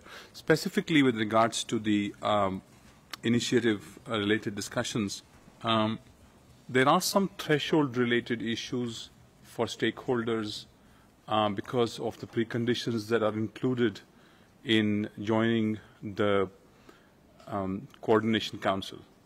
And that flows, those um, preconditions then flows to organizations as it is currently worded um, in terms of embracement. And so if we can get clear responses to some of the issues that uh, business has raised through ICC basis, and that will certainly help as early as possible to understand how to proceed. Because there are not just uh, procedural issues, but also legal implications on how people can associate themselves with them as a group because of the language that's currently on the on the on the website. Um, the more important point, which maybe you could respond right now, uh, would be that while clearly Net Mundial principles came out of an excellent uh, process, and in recognition of which the IGF itself gave it the pride of honor, the the there are stakeholders who accept or may accept Net Mundial principle uh, fully, partially, and some not at all, which is which is a likelihood. Um, but if the precondition exists the way it is, then it would mean that even though we call the process open, several large numbers of stakeholders, including um, governments, may not be able to join this discussion to begin with because they are not in a position to fully embrace everything that's out there. There is a difference between uh, non-binding rough consensus and embrace, accept, advocate. There's a big difference. How do you then start a process where right at the beginning you would have a realization that large number of stakeholders due to legal or other issues may not be able to contribute even though their presence in what you're trying to look for, which is solutions for specific problems, may be a critical need for the initiative to succeed. Thank you very much. Cheryl? Thank you very much, and thank you again to all the panelists. It was very substantive, all of the presentations, and very informative and, and very useful. Um, my questions are, are, geared towards the Net Mundial initiative presentation. And Verizon did participate in Net Mundial. We thought it was uh, a very forward-looking um, and excellent two-day conference, uh, and some good things definitely came out of it. Um, with respect to just I think, clarifying a couple of uh, items that I heard in the presentation. I noted that uh, there was a discussion of the, the WEF um, initiative on internet governance, um, and th there's also the Net Mundial initiative. Um, are these separate or are these uh, the same? I just just to clarify that, um, so we're on the same page. Also, um, secondly, I heard that uh, the principles, uh, there could be a possibility of them changing in the future, whether through perhaps a process at the IGF, such as dynamic coalition or otherwise.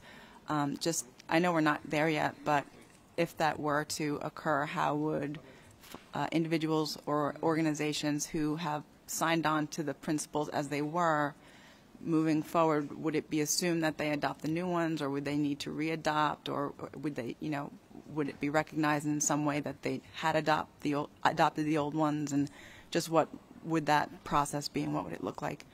And then third, I think there was uh, an interesting comment with respect to resources at the IGF. Uh, we've all been talking about what an important year 2015 is going to be, um, and we had some interesting discussion actually in the donors meeting today with respect to resources, time constraints, et cetera. Um, I'm not sure if, if the seat is definitely a MAG seat or if it's an overall IGF seat, or so clarification on that. Um, and then just, I would highlight also, I, you know, just the concern that if we are taking on intersessional work, um, we are doing the best practice forums. I don't know that we've decided um, the exact role of the MAG chair and Secretariat's office in terms of who'll be doing what, um, but just making sure that the, we're not overextending our resources in such a critical year. Um, and so those are my comments on Net Mundial Initiative. Uh, I had one comment also on um, the CSTD process. Um, we try very hard to participate in as many of the meetings as we can, but sometimes due to resource constraints, we're not able to. Um, and so I did participate remotely um, in one of the CSTD meetings, and I thought it was great. Um, it, was, it was very easy to do so, and I really appreciated that. I think moving forward, really enhancing uh, remote participation capabilities for all the meetings will be increasingly important, uh, especially as we add new things and, and, and different organizations have different levels of resources. So thank you very much, and I'm sorry for so, too many questions. Thank you very much, Cheryl. Next uh, is uh, uh, Chip from Cisco Systems. Uh, thank you, Mr. Chair. And also, I'd like to thank the presenters for giving us a nice update on what is happening in the other areas of internet governance in the uh, UN system. Uh, one question, I think I, I, think the previous speakers you know, asked most of my questions, but I would just maybe ask a request rather than a, a question is that perhaps in as we get closer to June, and if there is a meeting, a MAG or meeting in uh, May, that we get another update on um, what the process is for the 10-year review at that time. Thank you. The uh, question on the schedule for preparations uh, to uh, Brazil meeting we will be discussing tomorrow and day after and then we will decide what will be the sequence of MAG meetings. But certainly your request is uh, taken on board, and we will update at every occasion on, on the WSIS plus 10 uh, review. Do we have a remote participants? Two of them, please. Yes. First, uh, just very quickly before Nora had to leave, she asked, she left a note that there will be a call on Thursday to ask any more questions regarding the Net Mundial initiative at 5 UTC. And then we have a comment from Subi. This is Subi, and I'm not going to try and say her last name, Chaturvedi. For all the initiative presenters, many thanks, excellent summaries all. I speak for myself and for those not in the room. For many new voices and participants willing to engage, we welcome the various new initiatives existing and new. Wish that a 1,000 flowers bloom. The challenge has been to keep track of the various initiatives. Would request UNDESA perhaps through the IGF to integrate a global IG events initiatives map. And also if we could get a specific response to the IG extension mandate position from DESA what we as MAG members can do to carry this message forward on the value of the IGF. The clock is ticking, and we have now just under one year. Thank you. So thank you. As far as I know, the map map holder is uh, Marilyn, so she always has this nice map of all meetings related to IGF. So, yeah, oh, you see that. So we, Marilyn will send it to you. So uh, Izumi, Izumi, floor is yours. Um, I, I have a question before I make the, to the chair that uh, I'm going to talk about not the five ones already uh, pre presented, but a, a different one called World Internet Conference to share. I may, may I do that now or later? That's up to you. No, no, please go ahead. now you. we have a free-floating discussion and Okay. that everything is on the table. Good. Um, some of, or many of you may have heard World Internet Conference. Don't know how many. Um, that was organized in November 19th to the 21st in a small town of Wuzhen, about two hours outside Shanghai. I got invitation through the, uh, from the organizing committee, but through the CNNIC. But it was a very amazing conference. I see only a few. Um, Pablo and some others were in the same conference. But it was aimed at, by the very strong will of the government of China to become the Davos of the Internet conference of sort. So they tried to assemble many leaders, especially from the business side. The um, founder and chairman of the Alibaba, Jack Ma, who is now the richest individual in China, showed up as like a rock and roll star. But the founder of LinkedIn um, came from the U.S. Uh, the CEO and president of ICANN also joined. That the big name. Um, they say four out of the world's uh, richest 10 internet companies are from China. And they are all there. China Telecom Unicom there. Uh, World GSM Association chair was there. On and on.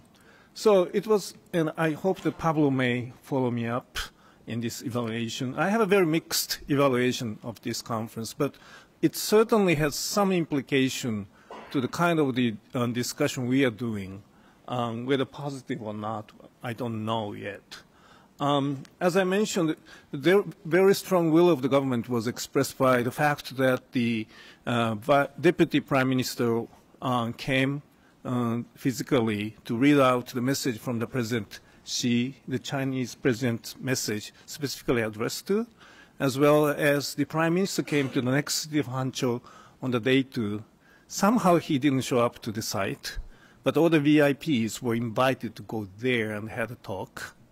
Um, and there were about 600 reporters to the participants of 1,000. They were all mostly mobilized by the government, but they're very keen to cover. Uh, very interesting. I was interviewed three or four times, by the way.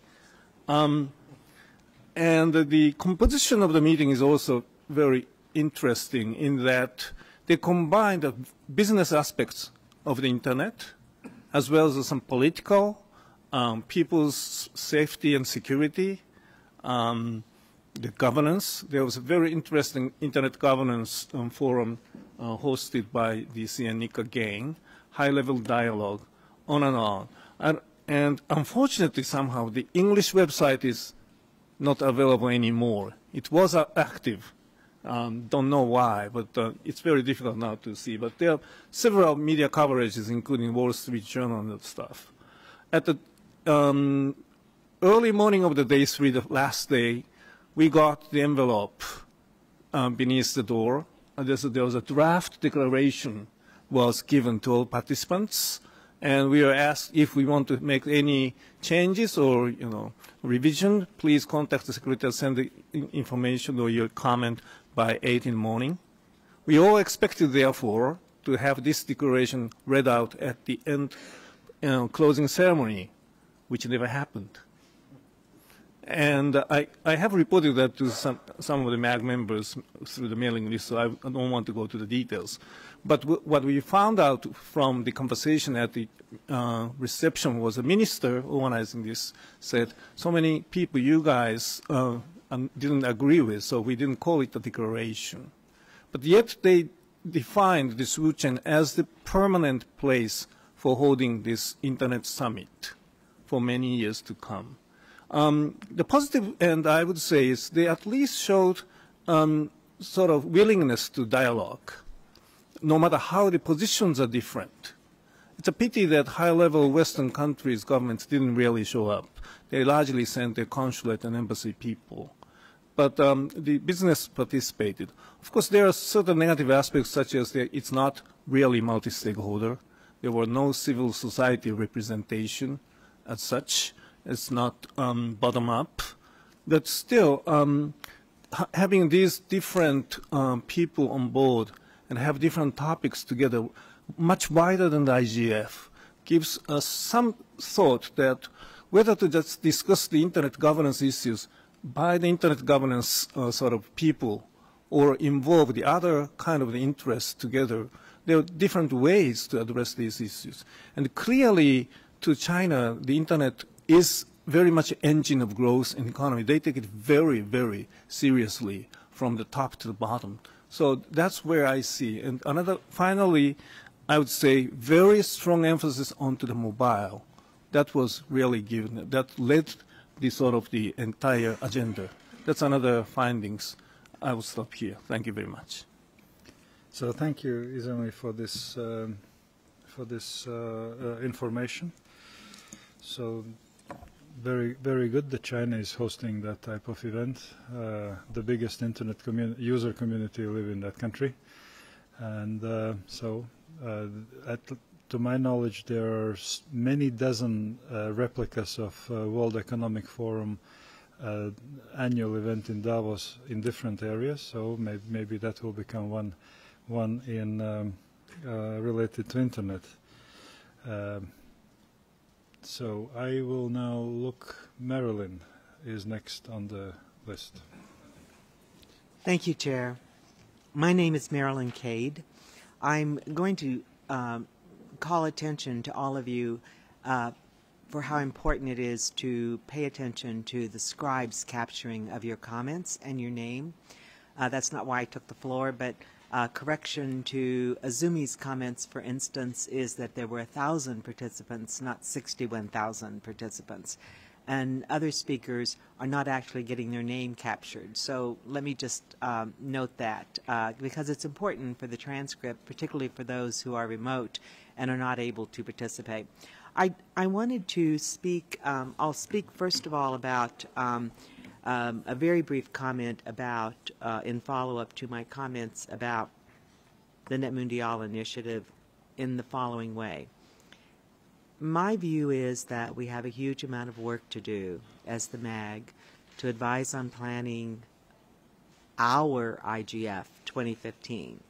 We have also been alerted to now as a, a MAG and a stakeholder community to a number of very critical events and activities where our future is in the hands of others and not uh, perhaps so much in our own hands. What is in our hands is to do with excellence the job that we are appointed to do or that make the contribution that we can make.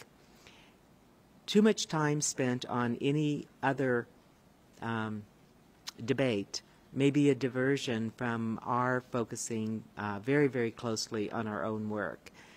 Having said that, I want to, um, and my comment there is related to the issue of in order for us to fulfill our responsibilities, take up intersessional work, improve and extend best practices, approach the national and regional IGF initiatives about perhaps engaging um, in a more direct linkage uh, in some way if it suits their bottom-up consensus-based organizational um, um, structure to do so in the IGF itself.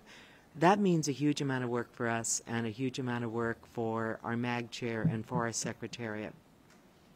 Let me go on now to comment on and to thank the other presenters. I'm sorry Doreen is gone um, because I um, was present at the ITU Plenipod as well as certain other some others who are here um, and uh, observed and even contributed perhaps through um, discussions to the resolutions that are passed. There is indeed um, sig significant work for all of us to be aware of, including um, the interest of the ITU in engaging in the WSIS follow-up. It is particularly important to me as a member of the CSTD Working Group on Enhanced Cooperation to support Peter Major's call to attention for all of us the fact that the um, uh, mapping exercise is open until the end of the month, and I hope that all of you will take a look at it and consider making a contribution. There are a number of us who are um, members of that working group from civil society, the technical community, and business, and I know that we would all welcome the opportunity to talk with you about how to effectively do that. On the uh, the concept, the the uh, road ahead that um, Aaliyah Armstrong mentioned, that will we will learn more about um, really um, only in June. Um, I think we do need to be thinking in parallel as concerned stakeholders about how we work collaboratively across all of the stakeholder groups to engage with um, government colleagues in New York who will be making decisions and think about how we help to contribute to providing information and um, uh, even advice on uh, how to best engage with stakeholders and how to um, uh, consider the way forward uh, post 2015. To me, Last Friday, I had the opportunity to hear Adama Samassékou, the president of the first PrepCom, and Janis Karklins, the president of the second PrepCom preparatory process for WSIS. And Adama really struck a chord in me of reminding me that um, it is really, uh, the WSIS was about creating the information society for all. And that is really a vision that I think the IGF was supposed to contribute to, which is what we're here to do in the next three days. But it also reminded me that the information society is not just about uh, access, but it is also about uh, capability and uh, expertise and also about content. And I, it was a very inspirational uh, reminder that uh, looking ahead, hopefully the IGF will be able to contribute, um, not just this year, but in the years ahead to creating the information society. Thank you. Thank you, Marilyn. Uh, I'm now calling on Jivan.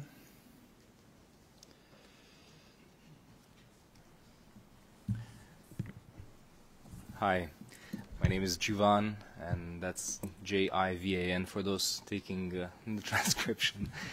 Uh, actually, I'm, I'm amazed that whoever is taking the transcription that they can uh, uh, write so quickly everything that is written. So kudos for them. Uh, but yeah, it is a challenge with all the names that we have from different places in the world. I am uh, in the Ministry of Foreign Affairs of Macedonia. I'm head of the Department for Public Diplomacy and, and Public Relations. But at the core, I'm a multilateral uh, diplomat. And I say this only because um, I think that uh, I've been in many uh, general debates in September, and it's a quite a hectic uh, affair. If the Internet Governance Forum is a lot of people whizzing around and about from one place to another, this is the same thing in New York, but it's only prime ministers and, and presidents with about uh, uh, bodyguards uh, varying between 2 and 20 around them. So it's but it's a good time to get the attention of the people that I think that we should be trying to get the attention of um, uh, about uh, what we're doing, uh, especially given that the vote will be coming, well, the, the mandate will be renewed through ECOSOC and the, the General Assembly, and that will be just before the November meeting of the IGF.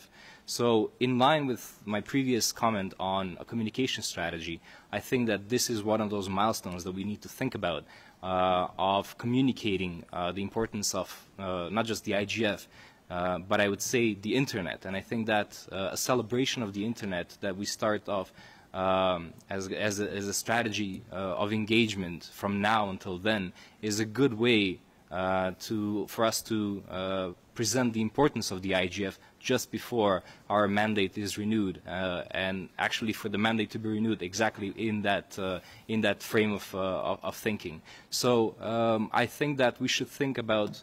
There are government representatives here, uh, quite a quite a few, I think. Um, uh, we should think about uh, some kind of an event during the general debate in New York in uh, September um, perhaps um, under the auspices of UNDESA or perhaps under Brazil or perhaps another country uh, that uh, would hold it at a relatively high level, so ministerial level is high, high enough to attract attention. It doesn't have to be a summit. It doesn't have to be anything higher than that and then to present it as an enabler of the SDGs that are coming uh, as the new framework of thinking uh, in terms of development uh, goals for the, for the future. If there ever was a good enabler uh, of growth and, uh, and de development, that's the Internet, and we need to um, show that to the world uh, next year. Well, thank you, Jivan. though small, small remark if the decision on the extension of the mandate of IGF will not be taken by the second committee this year, I think that then the next opportunity will be as a result of the WSIS plus 10 review uh, event in December uh, 2015. I don't think that General Assembly in 2015 in September, October will take any decisions. That will go automatically to, to the, uh, to the um, uh, high-level meeting. So I have next uh, uh, Mark Carvell, UK, on my list.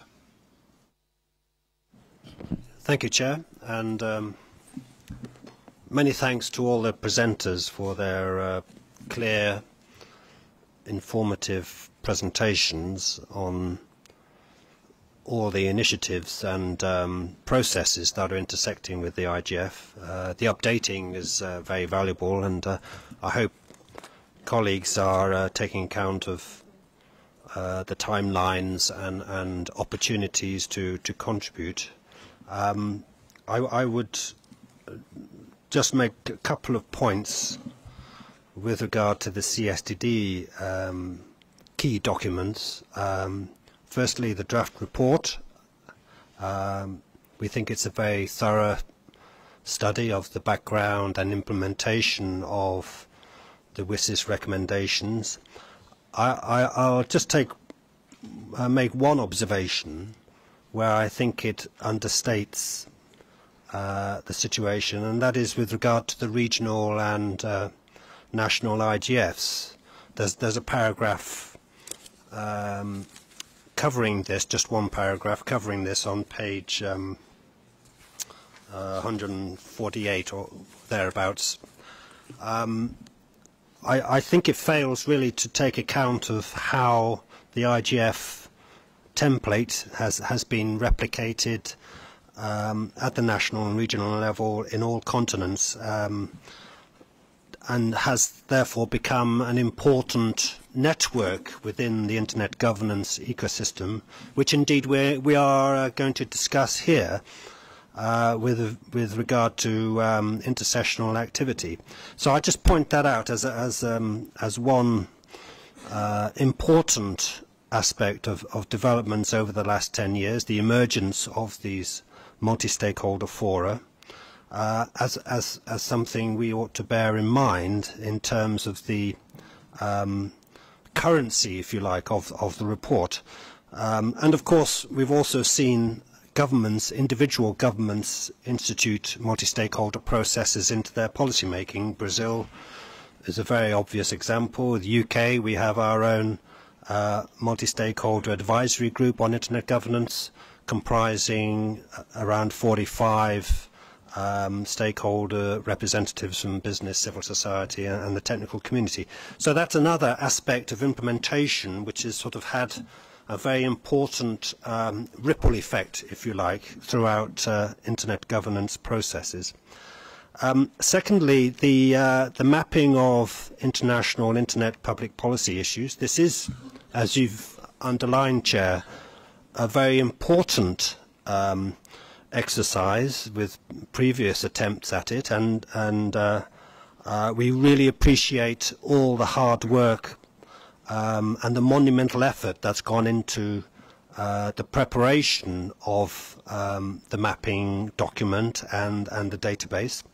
Um, we've had uh, an initial review of it, and there were comments last week, of course, as um, as Mervi recounted at uh, at the intersessional and, and indeed Peter.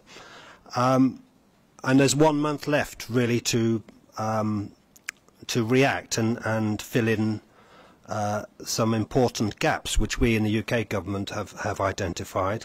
So I, I just draw that to the attention of, uh, of all the members of this meeting and those listening uh, remotely that this is a key document we, you should draw your immediate attention to uh, because it has a, a critical, uh, it will be a critical input into, into the WSIS review, into debates about whether there should be another process uh, with regard to enhanced cooperation and so on. So, uh, I, as I say, I, I, th I think that's key. We very much welcome that effort. Uh, we think it needs further uh, uh, work on it in, in uh, completing the mapping uh, and uh, you know, reviewing where real gaps may still persist, which, which need to be addressed uh, in, in some way.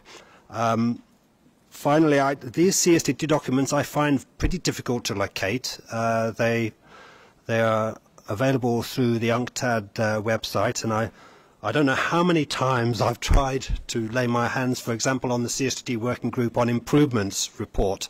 Uh, it, uh, I find it very difficult to to get to the exact uh, place uh, online. So I, I would recommend for the outcome of this. Um, meeting that we have some kind of readily available digest of key links to these documents so that people can access them easily and understand the process for responding. Thank you.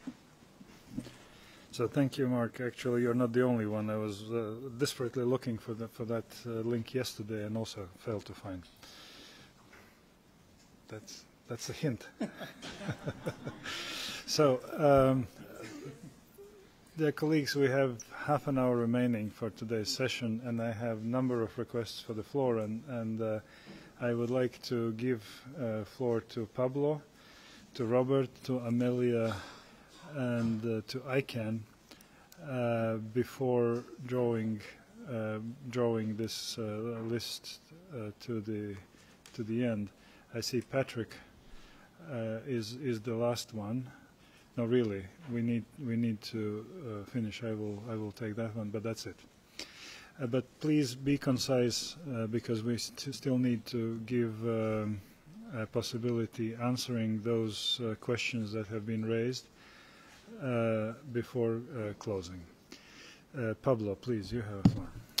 Hello, how are you doing? Uh, I'm Pablo, PABLO, from APNIC. Uh, APNIC is the regional internet registry in Asia Pacific. I'm here on behalf of Paul Wilson, a salient uh, IGF member. He couldn't be here with you all, but um, APNIC has been an active supporter of the IGF since its inception and will continue to do so. We very much hope uh, for the renewal of the IGF next year and to participate in the IGF in Joao Pessoa.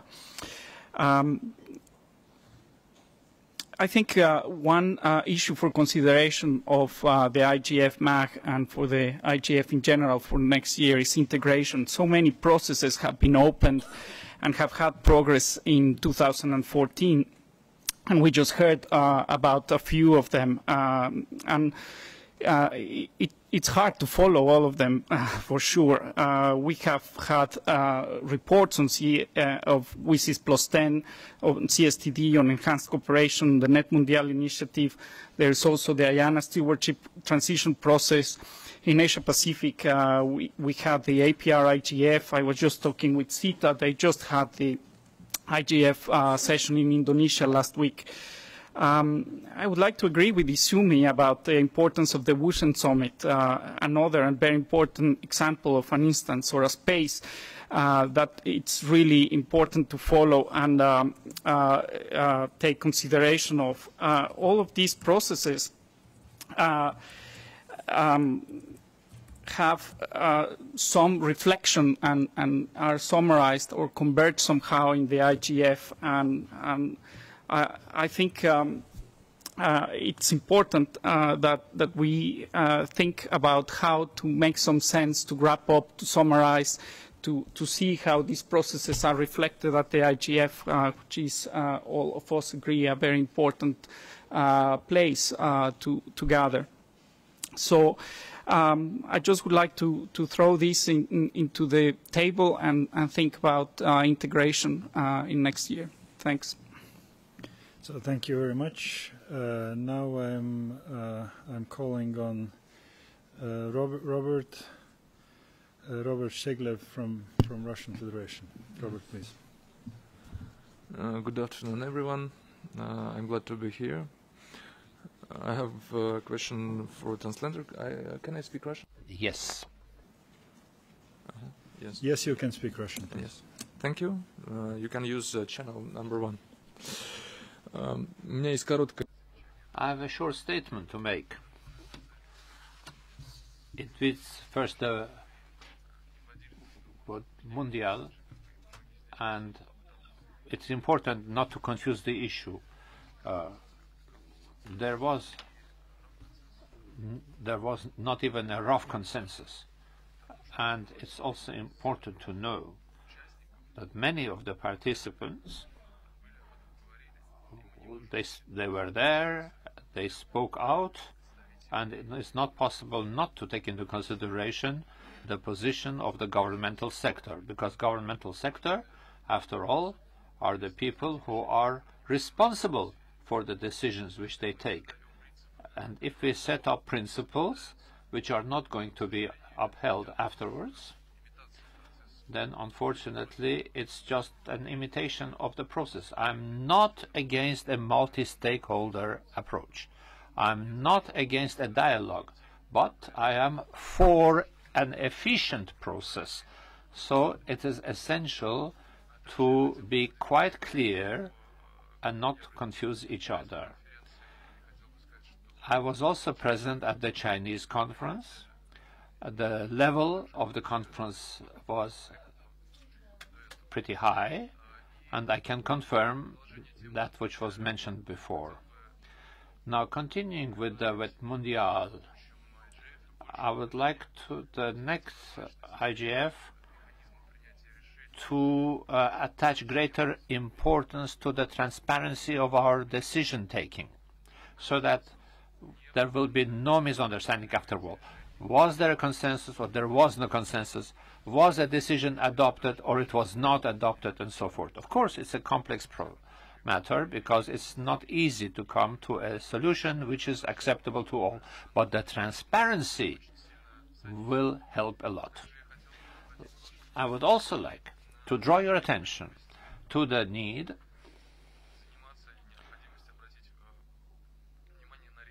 to attach importance to regional initiatives.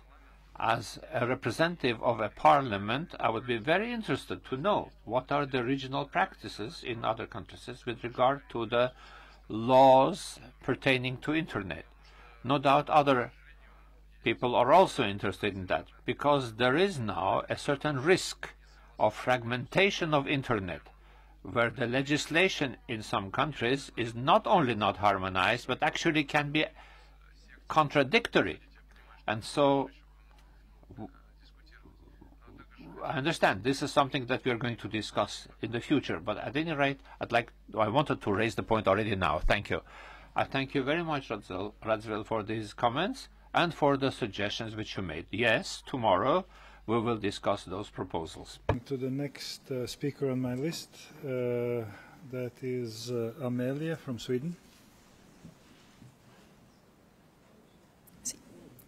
Good day. Uh, my name is Amelia Andersdotter. I've been a member of the European Parliament, um, and so I believe that I have an experience and a point of view, uh, which is different from the stakeholders that are normally listed as participants in these meetings.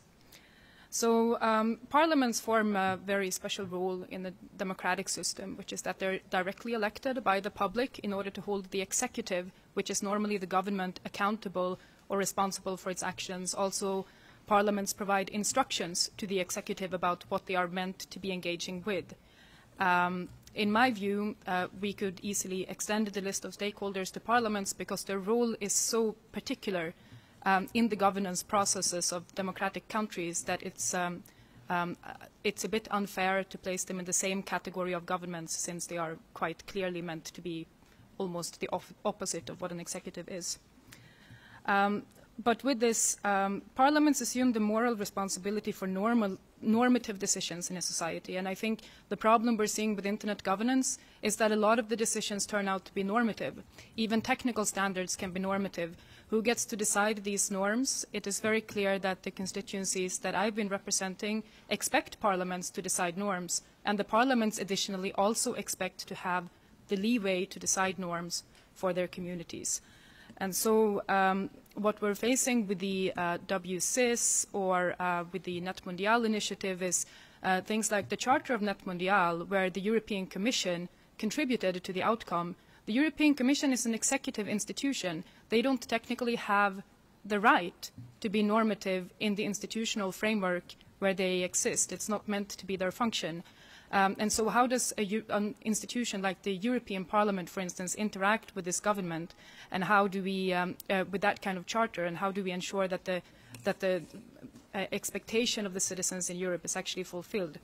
Um, there's been some cases where um, civil society actors in the Internet Governance Forum have brought up the opportunity of making supporting statements, ensuring that the normative discussions that occur in best practices forums or in the IGF at large can be somehow consolidated into uh, papers that can then be used to help and sustain from the global community normative discussions in legislatures.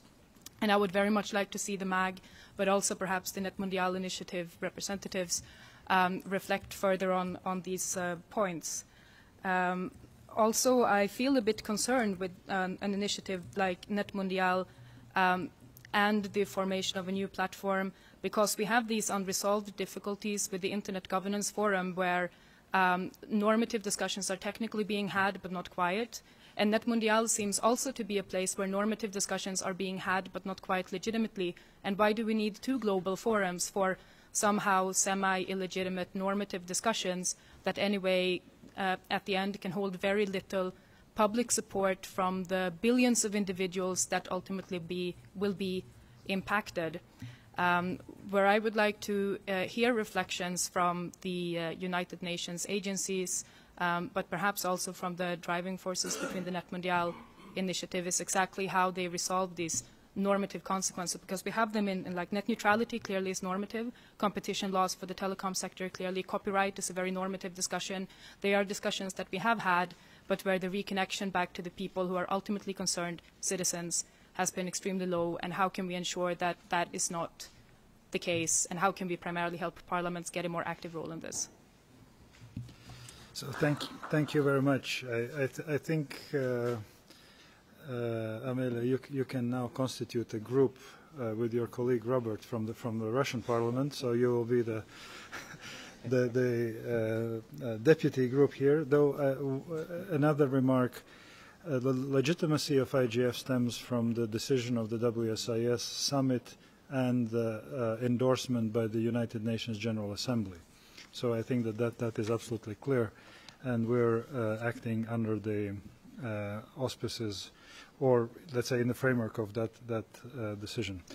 I have three more, more uh, speakers uh, on my list before going to answer, and then one from remote participant but I would like to limit your intervention specifically, Nigel, yours, because you have been uh, speaking already once. Your one minute, please, Nigel. yes, thank you very much, uh, Mr. Chairman. I'll be be very brief indeed. I, I just really wanted to, uh, to to thank the presenters we had, and to particularly mention the the work that the CSTD have put in train, both in terms of the uh, the mapping document that's been referred to and the contribution to the WSIS 10-year review. I, I think these are enormously important contributions and they're, they're important not only in their substance but in the way they're put together.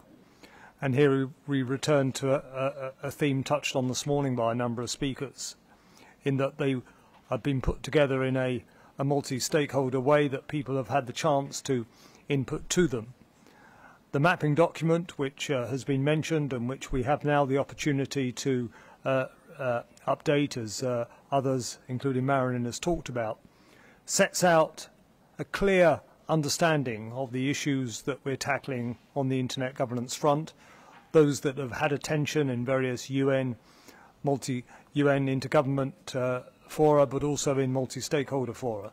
And I think it's a major contribution uh, to the work that we're going to take forward in the WSIS plus 10 review. And I think the CSTD should be commended for it, which I think means it's even more important. And as was suggested by our, our colleague from uh, Macedonia, having some form of ability where stakeholders can come together at a senior level in New York and reflect on the interaction between the WSIS and the the uh, the, the uh, sustainability development goals, I think is equally important. Thank you. So thank you very much, Nigel. Um, Patrick, your two minutes. Thank you. Um, for my colleagues who who have uh, seen me at other conferences, you'll know that I sort of have a, a moral obligation to uh, make an analogy at every internet conference to either Star Trek or Star Wars. And uh, since nobody's done that quite yet, I'll, I'll take the opportunity to do that now. Um, this has been very useful, I think, to hear uh, the various different updates from NetMundial and on the various different uh, other initiatives. In fact, I've spoken more about NetMundial initiative here at this particular event than I have the entire past year about any other single internet governance initiative. And if I could be just a little bit provocative, I think we need to focus a little bit more on the IGF itself. And I'd be interested in your view here. Here's the Star Trek analogy. In um, in one of the episodes, uh, Captain Kirk calls down to Scotty and says, Scotty, I need a status report. Scotty reports back, in four hours, Captain, the ship's going to blow up. And what does the Star Trek do? With everybody on the Enterprise, they get together and they figure out how to make sure that their destiny continues. And we're in that boat right now. Uh, I'd sure love to have your, your thoughts, uh, Janis, about what can the MAG do? Not to be spectators in this, not to learn second or third hand what's happening in New York about Mexico or other proposals, but how can we be proactive in the sense that, uh, that Jivan proposed about getting together and really trying to drive the destiny? How can we support you in the efforts to uh, to re-engage the IGF and to make sure that it's renewed, not just renewed on the same terms as before, but actually you know, with a stronger, uh, you know, wing, wind beneath its sails in order to move forward. I'd be very interested in your view on that. I know it's something that's really on my mind. Uh, thank, thank you, uh, especially for analogy. Though I must say I haven't heard that that uh, this ship is going to blow up in four hours.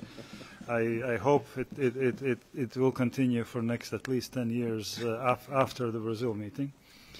Uh, so, but um, I, I think that the discussion uh, or information exchange that we have now, uh, which uh, at the first glance may seem not directly relevant to our conversation about IGF, I think still is very relevant because we're uh, uh, getting to the to, to we're absorbing all the knowledge that will help us tomorrow and day after tomorrow to shape the, the contours of Brazil meeting in order to make sure that IGF stays on track uh, for a long period of time and is seen as a useful contribution to the ongoing sort of decision making which is taking play, play uh, which is taking place elsewhere. I do not expect IGF come to the stage that we will start making decisions. No, but we will inform decisions which will be taken elsewhere, either in the Russian Parliament or in the European Parliament or in the European Commission or any other government in the world. So that that is the mandate of, of, of the uh, IGF, and of course we need to work uh, to improve our, our outcomes that they become more relevant also not only to policymakers but everybody who is involved in in internet uh, uh, in, in, in daily work, and hopefully we will get there. Uh, Sylvia is the next on my list and the last one. I'm sorry. We need.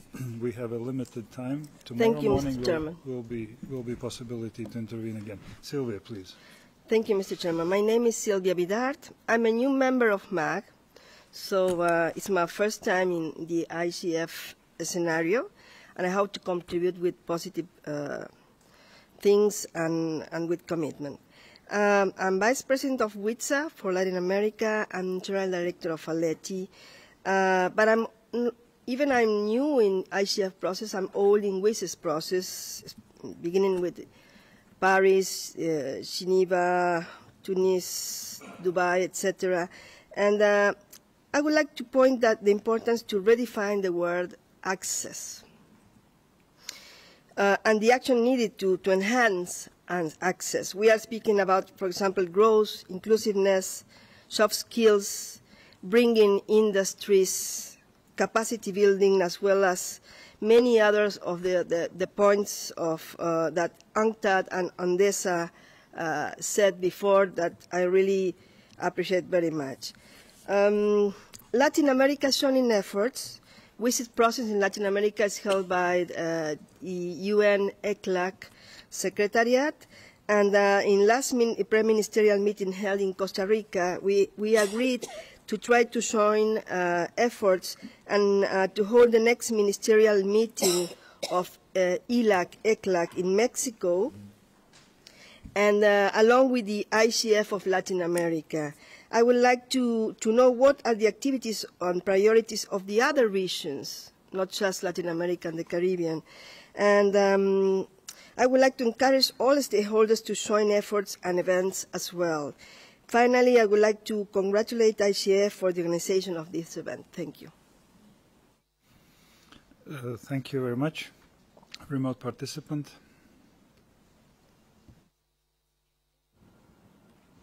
Thank you. This is from Marilia Maciel from Brazil. She says, the approved modalities of WSIS plus 10 review make it mostly an intergovernmental process, even though it will accept the inputs of other stakeholders. After Net Mundial, it was made clear that a meaningful document could be drafted by means of a bottom-up multi-stakeholder process. My suggestion would be that a WSIS outcome document is drafted in a collaborative manner following the methodology of Net Mundial. This multi-stakeholder document could offer useful inputs to governments that will be negotiating in New York. Governments could incorporate the points they find useful. The document would also be able to reflect a multi-stakeholder vision for the post-WSIS. The process to draft, draft, this document could be anchored in the IGF, which is our main multi-stakeholder forum.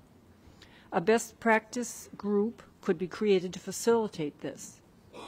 One of the sub-themes in the agenda of the IGF should be the WSIS plus 10 review. The IGF could present a useful contribution related to issues that fall under its scope. Thank you. Thank you very much. Uh, Juan Alfonso, either you take one minute now or five minutes tomorrow.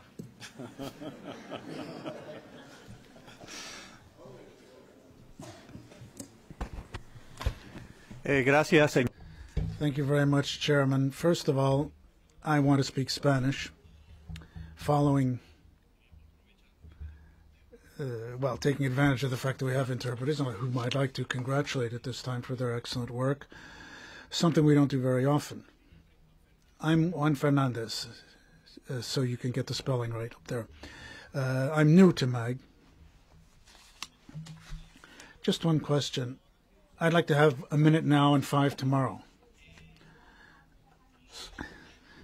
What I what I'd like to ask is, uh, I, I want to look at the agenda here. There's a problem there. When are we going to be talking about cooperation or not between IGF and this initiative or others. Can, can we do that tomorrow? Is it scheduled for tomorrow? Muchas gracias. Uh, we will be talk, talking about uh, uh, the correlation or cooperation between IGF and Net Mundial Initiative either tomorrow or day after tomorrow, depending on advancement of our conversation. So, and uh, certainly uh, uh, tomorrow and day after, please feel free to ask for the floor. I cannot grant you five minutes since you have used already one, uh, but uh, I, I think we will find the right, right compromise. So thank you very much. I think we had a good, good exchange, and we have a number of questions uh, that uh, were raised uh, during, during this uh, period, and I would like now to ask those presenters who would like to, not necessarily, but who would like to answer very briefly to those, to those questions. And then and then um, uh, uh, Benedicto will uh, make a final sort of conclusions uh, of uh, today's discussion. So, Peter, I think I didn't hear any questions uh, to you. Please. Well, the simplest way to, to access the documents is you just Google CSTD UNCTAD, and it will take you to the website, and then you go to the intersessional tag, and you find the documents. So this is the simplest. I, I, I couldn't find my, my way either. Sorry. So thank you very much, though I must, I must say that this forum should remain technology neutral. There are many more uh, search engines than the one which was just mentioned. Uh, Mervi, please. Um, thank you. And I apologize from the part of the Secretariat of the challenge that you have encountered in finding the right pay, page, but I'm uh, happy that uh, Peter has uh, facilitated uh, that. Um, I just wanted to say a few words. First of all, thank you very much uh, to those who commented the work of, of the CSTD Secretariat. Um, uh, on, on the mapping, um, I just wanted to uh, note that it was really a challenge also for, for the Secretariat. Given the broad array of, of Internet governance, we, we were very conscious that this was just a snapshot, something that we could take forward just a little bit.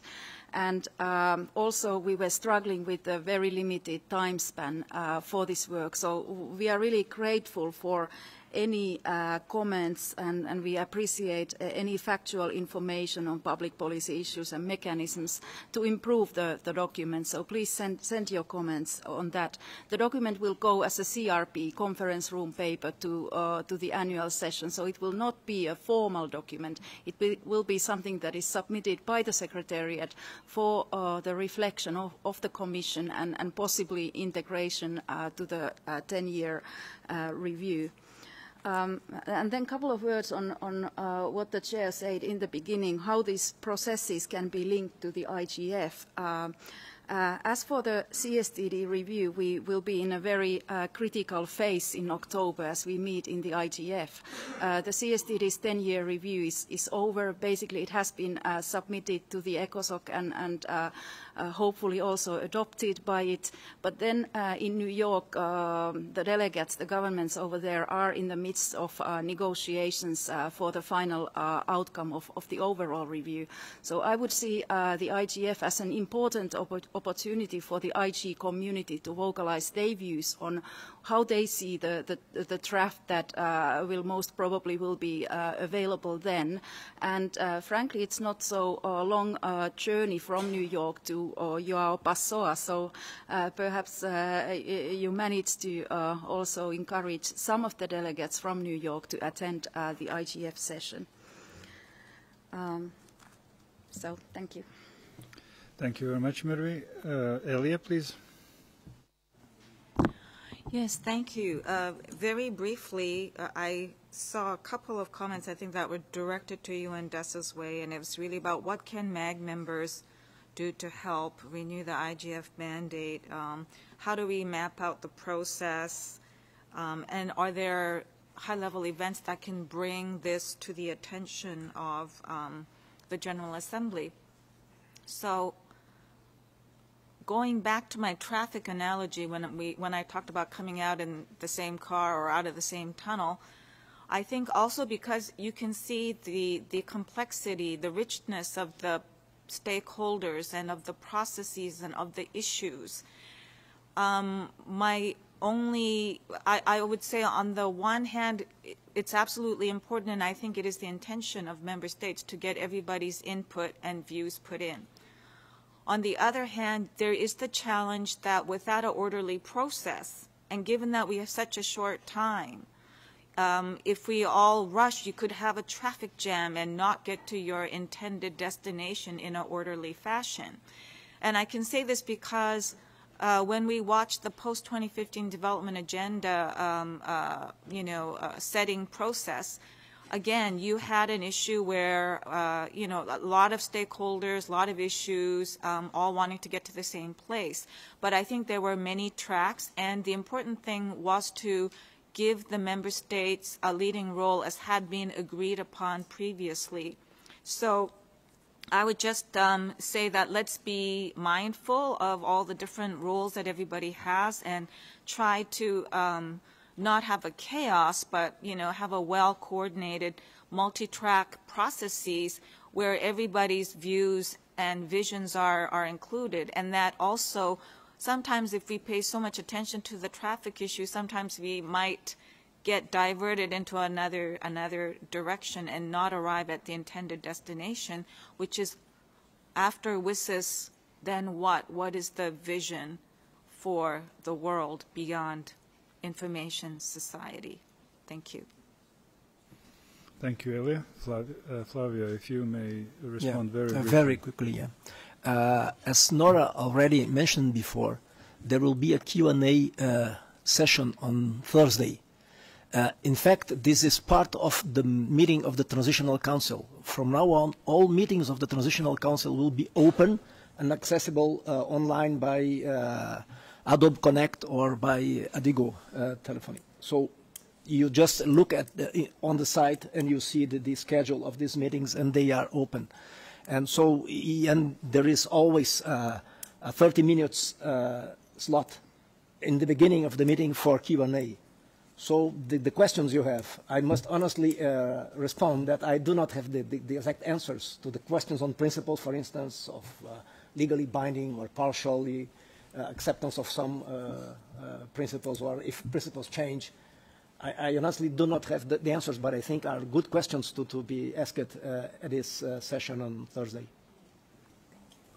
So thank you very much. Uh, and now I would like to uh, invite uh, Ambassador Benedicto Fonseca to uh, conclude uh, today's work. Benedicto, please.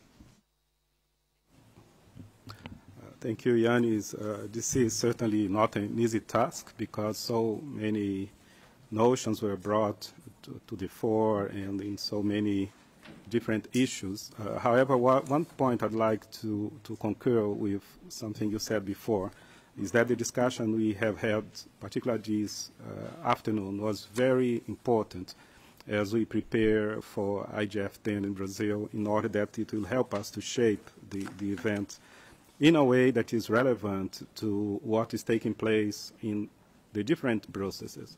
I think it's very important that as we prepare for IGF 10, that we try to relate to the existing discussions in regard to internet governance, and we try to, to, to dialogue and to interact with those processes in a way that is productive.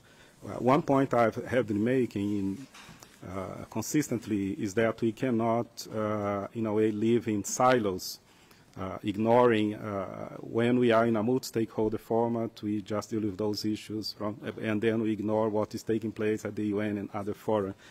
Uh, I think it's very important that we try to build bridges in which the processes will be relating to each other, Uh, and it, there is a very important aspect here that this requires mutual respect and mutual acceptance, which is something that is not uh, for granted because uh, either in a multi-stakeholder format or in multilateral format, uh, some of the participants do not recognize the other uh, way of doing things.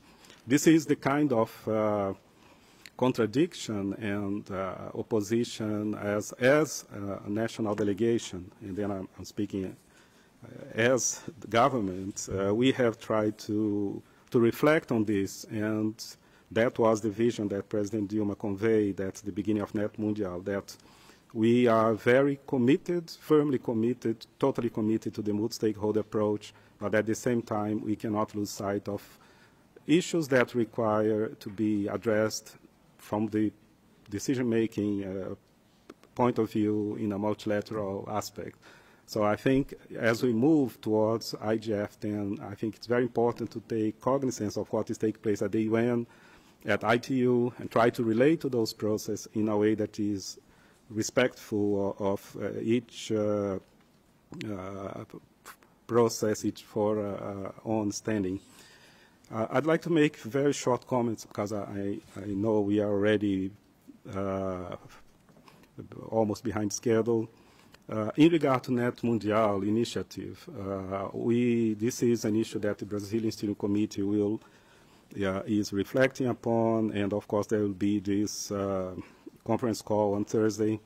Uh, however, having been involved with Net Mundial from day zero, and apologies to Nigel for using that expression, but uh, I'd like to make a few points. First of all, much was said about financial resources and maybe the, the kind of finite uh, capacity we have.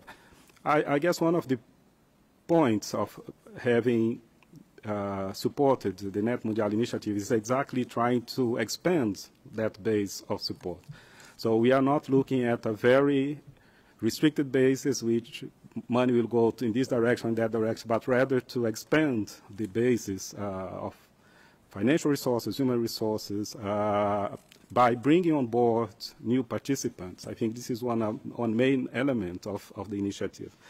And the other, and then I would resort to the original call that was made by President Dilma, is that we intend, and we, I think we, that was achieved in Net Mundial, that this would be inclusive uh, we are aiming at, President Dilma was very clear that she wanted a very inclusive meeting in which all participants had a fair opportunity to contribute to the outcomes. We are aware that not all participants uh, at the end of the meeting endorse its outcomes. Uh, that was not the intended result. And this is something that should be reflected upon as we move forward in implementing, trying to build on Net Mundial's outcomes. I think we should not lose sight of the initial proposal that that would be inclusive. So if there is some aspect in which people feel alienated uh, and that would impede participation, I think certainly this is an aspect that should be revisited by the proponents.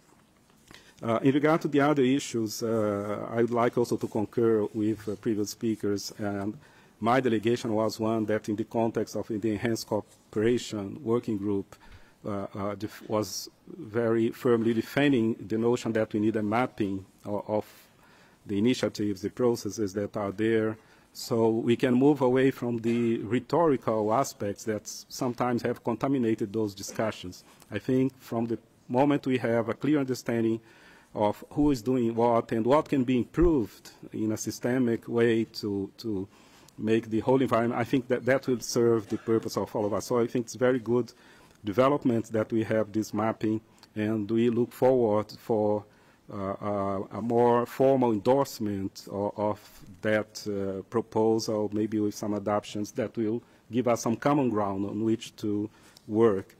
And in that same direction, uh, our assessment of the Busan meeting, ITU meeting, is that it was a very good meeting in the way that we also have consensus made decision, no vote was taken, and that also provides us with some common ground. So I'm, I'm saying this because there are so many positive developments taking place, but at the same time, some challenges for us to address as we prepare for IGF. I think the most important challenge is to uh, shape IGF in a way that will prove, uh, not to ourselves that are here, but to uh, people that are outside th that process the value of, of working that format.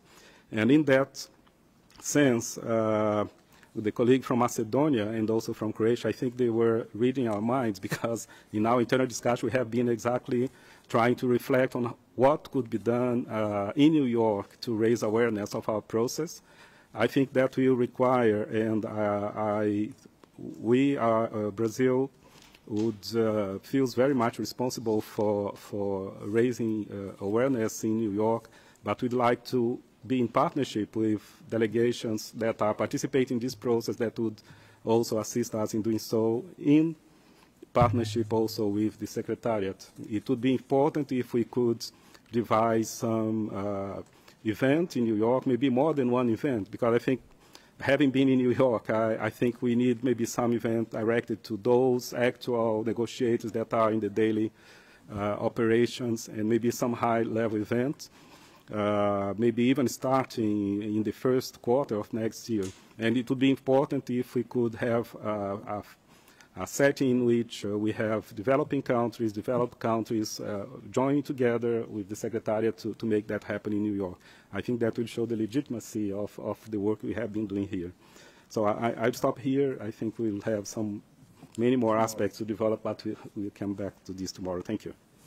So thank you, Benedicto, for, for your concluding remarks. Uh, thank you very much, all of you, for engaging with us. Before leaving, I have very bad uh, news to announce to uh, those who are coming from European region, uh, both from Eastern European and Western European, because this is not over for you.